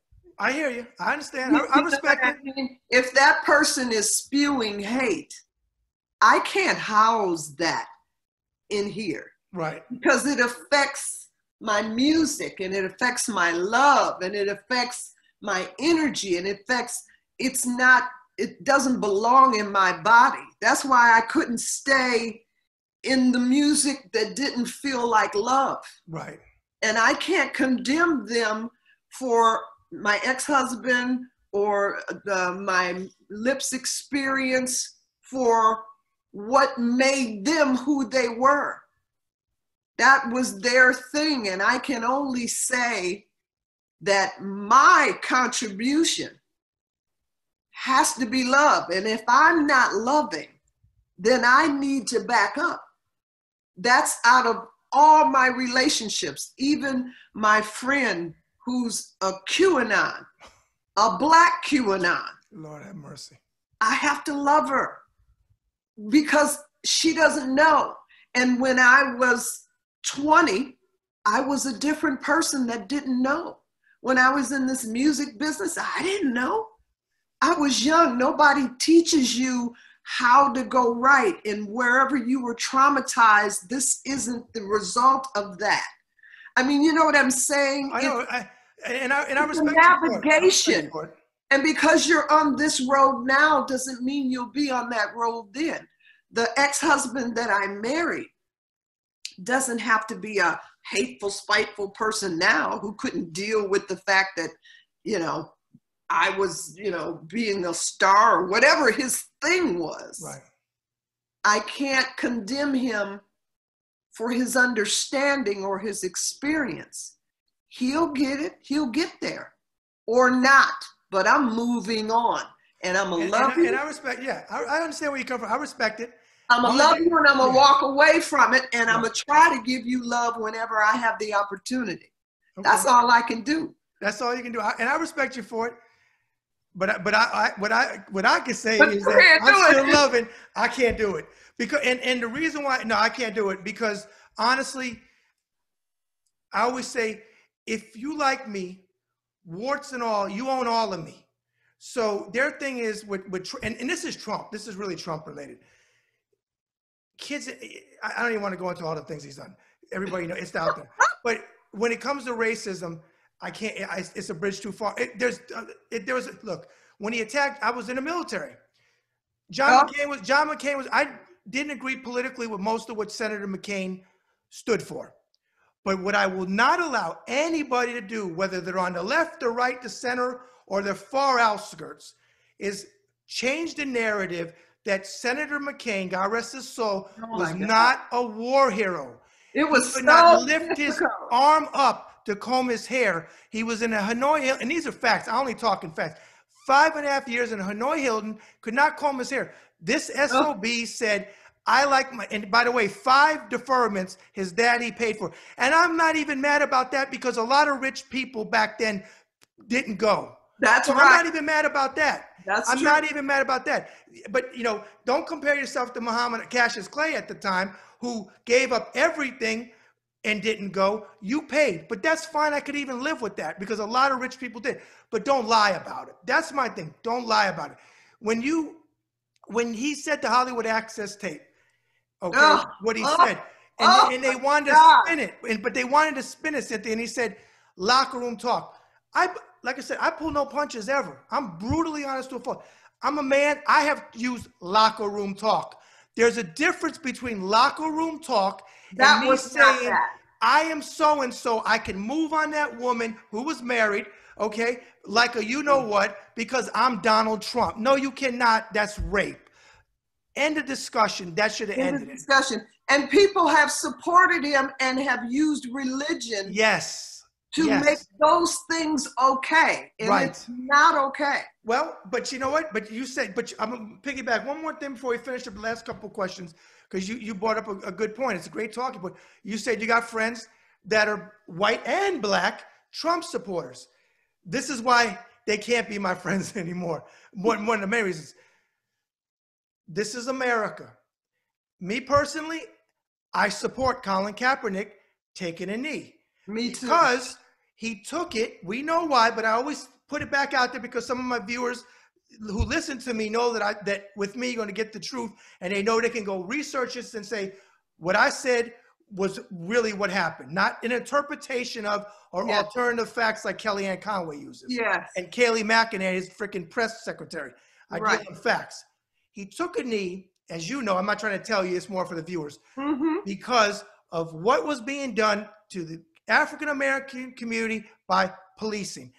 But he took a knee because someone that was in the army who was Caucasian reached out to Colin and said, Do me a favor for us because it looks better if you take a knee, it's more respectful. And Colin listened to this guy, and you can research this. He was in the army, he took a knee.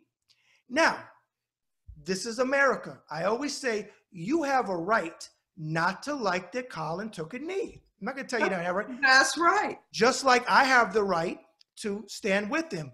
But what you don't have the right to do is change the narrative of why Colin Kaepernick. It's not.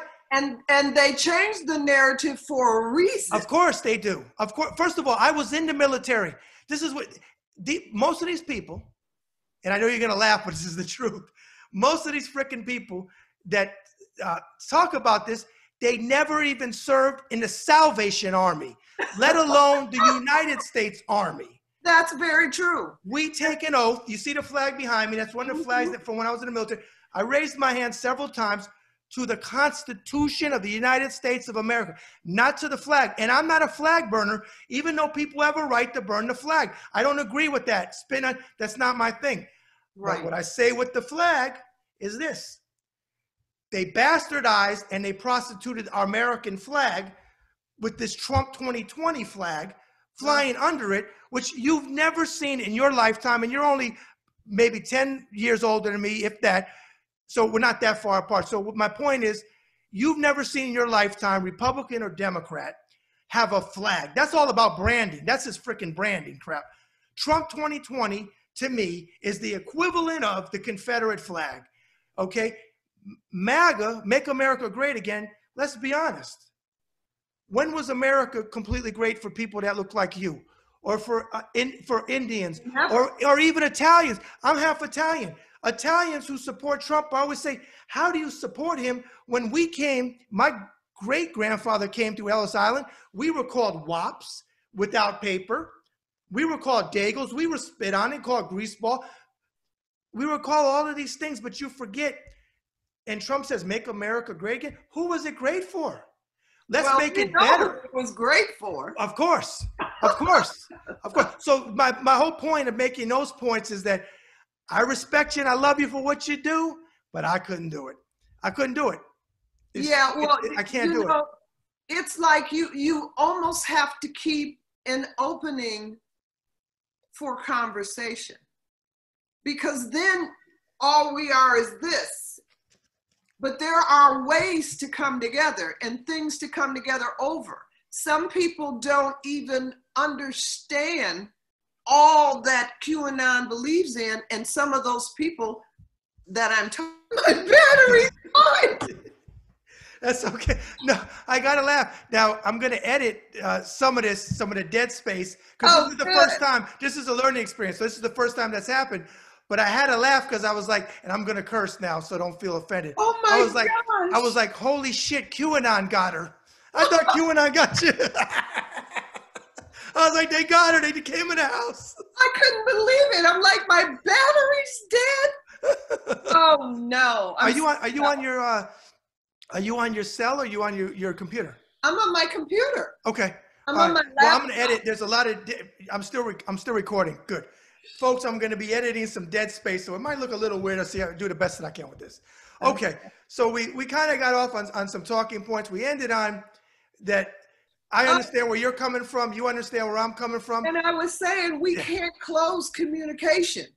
If if if I didn't know that they were QAnon or Trump supporters, or uh, there would still be love between us. So I can't stop the love from flowing because they're ignorant or they don't understand that they're not being, they're not, you know, because But, of but where can the conversation go, though? My thing is, where does the conversation go? the conversation goes to them understanding that what they're they think they're in is not what they're in what you think that you're being loving for because they really think oh no you know god this they put god in this I know. and and and, and he's he's he's we've got to save the children he's gonna bust up the pedophilia ring Yeah, Donald they Trump. really think that this I is know. what's happening I know. and so there's some veil over their eyes and over their mind. And I can't not, I can't completely close them down if that's what they think is true. And they're still have an ability to be loving people. Okay, so what I'm gonna do for you, since I'm a lo- I am a loving person, but I can't tolerate any bullshit. So what I'm gonna do for you is for free. I'm not even gonna charge you. Uh, you have my cell phone number and you have my email.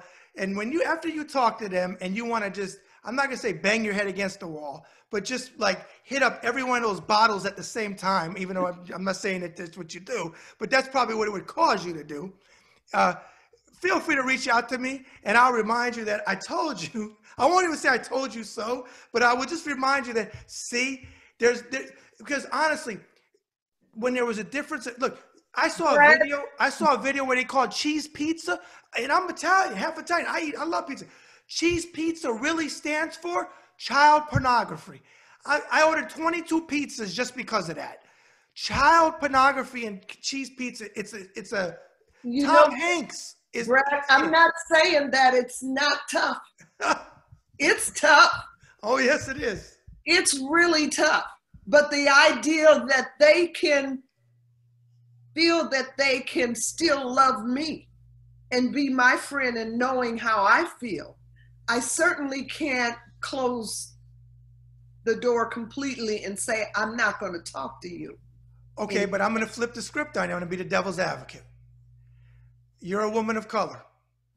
If they support Trump, he's a racist. You don't get to pick and choose. If, if I like you, I, I like everything about you. If they're over there saying she's mean to waitresses and you are mean to the Uber driver and you are mean to all these people, and I say, but she's nice to me.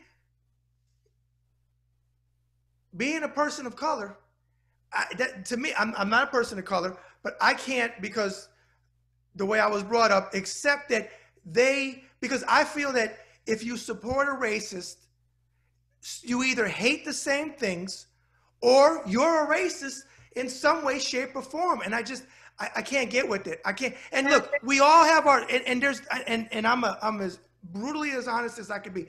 We all, me included, we all have our prejudices. Sometimes Yes. we don't even realize them. That's right. But it's a bridge too far for a guy that to this day says the Central Park Five should have been put to death. They were kids, they were exonerated, they served time in prison. His father, and I've talked to Mary L. Trump about this extensively on my show. I've had two times three hour shows combined. Nobody has her on for that long. We talked about this, where, as you know, in the 70s, he put either C or N, N for Negro or C for colored, on housing applications when he was running his father's slumlord apartment. oh, you know, Can't get we, with we it. don't disagree. We don't disagree about any of this. Right, And, and, and I stand firm on how I feel. right. I have a stepson who's a, who's who's a Trump supporter. Oh God. Mm. What do I do with that? I I, I can't hate my stepson. Well, no, I'm not saying hate. I'm not Well, saying I'm, hate. I'm Yeah. just saying. Right. I- and I have my opinion, and Right. the best way to get my opinion across, if you have blinders on, or if you're racist yourself, or if you think this person is something that you just refuse to see, I can't stop loving you because of your ignorance. I can't. Right. Okay. I can't stop loving you because you haven't opened your eyes. I can't stop loving you because you can't put one and one together and make two. I just have to believe that you're ignorant and Oh, you're definitely ignorant. and you're not on you're not on the same road as me yet. And I can't I can't close you down. I got you. I, I hear you. I hear you. You you watch Don Lemon? Yes. Okay, so you know how Don says there's the unit, there's the reality, the, the universe, and then there's the alternate universe. They're in the alternate universe, and I'm sorry I can't send a spaceship for them. So, I, but I hear you. I understand, and a lot of people, a lot of people uh, feel the way that you do, and and I and but see, but I can have this conversation with you. I'm not going to belittle you or put you. We could we could agree to disagree, but I understand where you're coming from, and but you're you're coming from a place of love and logic but you're also not insulting me or me insulting you for that matter to say I don't understand where you're coming from because I do. And you yeah, understand I agree with you. right. No, but what I'm saying is but we're, but we're, we're speaking in logical terms. we I understand the position that you have, but you but you also acknowledge. See, that's the problem I have with that side is that policies. George Bush, fine, we could talk policies. If I didn't know enough about the policy, I said I don't know enough about it to speak about it. Mhm. But it's not with this guy here. It's good versus evil. There is no more, like Chris Cuomo calls it. They're called the Retrumplicans. There's no more Republican Party because I have I have friends that are Republicans. I could care. less. Uh, To be honest with you, I've told people this. I was a Democrat. I became a Republican, and now I'm an independent. When he when he won, I left the party and I became independent because again, I'm part Republican. I'm part Democrat. yeah. I'm really in the middle. So, and honestly, being an independent, I could vote for whoever I want, even though I would have done it anyways. I would, you know, I, I, I don't. If it's a decent Republican, I'll say it's a decent Republican. Same here. But it's the good versus the evil part. Okay, That's what it's about. It's Right. the good versus the evil part. And I believe that the evil can be converted or can change. okay. I I'm gonna throw you. I'm gonna throw you an amen and a hallelujah. you got the voice. You sing to the angels, and if if you make, I tell you what, no names mentioned. You you're gonna have access to me for for eternity. Okay. when you cross one of them over, I don't want to know no names out of respect for their privacy. You contact me however you want. You text me, you call me, you email me, and you say, hey, one Cynthia, zero their side. And I'll know that that'll be our running joke. One or two, I want you to be able to, you know, how we used to do four and then put the line. I forget what they call that, but you know, the kids today probably know what I'm talking about. Tic-tac-toe or something. Yeah, right. Yeah, whatever it is, you know. Uh, Debbie would know what this thing is. Today, they, don't know what a payphone is. You tell them go use the payphone. They be like, "How does this work?" Oh But- my gosh. But um, okay, when you win one over, and I, win one over means they come over. I won't even say completely to your side. If they just leave Trump and QAnon and come in the center, I'm good. All right, Ooh, I gotta have hope. I gotta have hope. I hear you. I hear you. Okay. All right. So back to you. With everything we discussed, if you had to sum yourself up before QAnon gets you again and you, it goes dead, they already were sending you hate email. You got QAnon. Be careful. Now the thing is rocking. If I see somebody with tinfoil on their head at your at the door behind you, I'm running. Oh my gosh. okay. So Oh, with, with every, I'm laughing. with everything we discussed to this point, if you had to sum yourself up, Cynthia, as a human being, what would be a couple thoughts that you would say?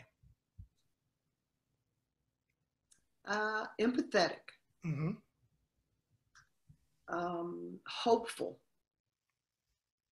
I gotta have hope.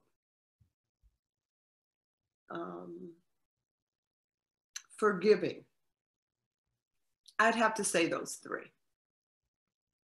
Okay. I don't usually chuckle when somebody says that because it's a serious question, but because we had that conversation, all I can say is bless you, but I mean it in a sincere way, not bless you, bless, bless them, the sarcastic one. I sincerely, I, I sincerely, I should say, do bless you. Okay. Out of all the interviews you've ever done, solo interviews, or well, we know you didn't do them with Lipps now. That pisses right. me off. But right. again, like I said, that's the lady that you heard on Funkytown. Um, but as a solo artist or other groups, and the interviews, whether they were big or small, was there ever a question that you had wished that you were asked by an interviewer and you weren't? And if there is a question, what would it be?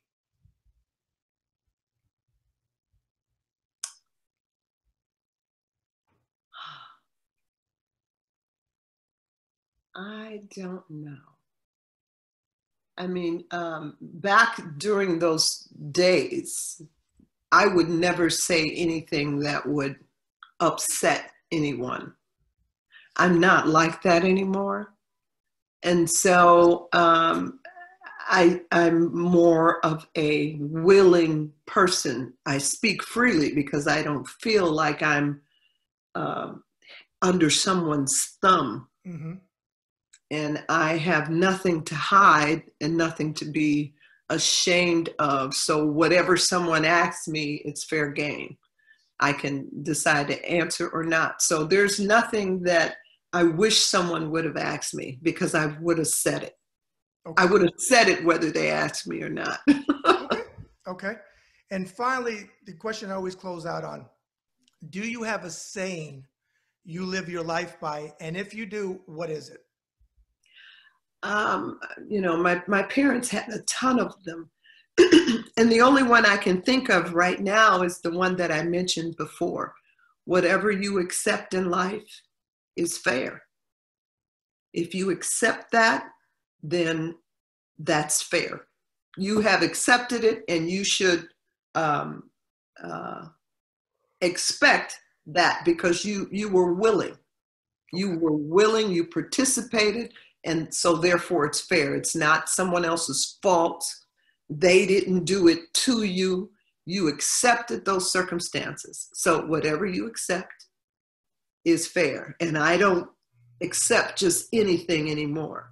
When i walked away from Lipps Inc. because i didn't feel love in that situation i didn't feel like i could bond and make partnerships and real relationships.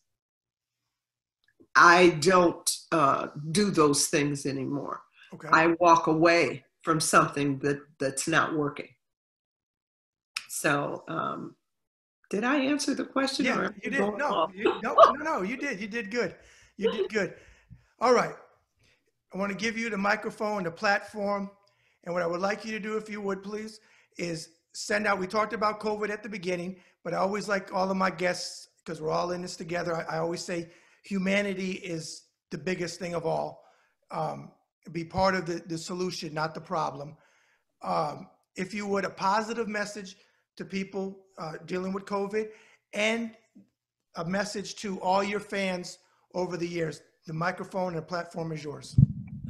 Um, a message for COVID uh, survivors. Um, um, and for those who haven't got it, uh, contracted the virus, and those who have it now and may have it, what you put in your body is so important right now.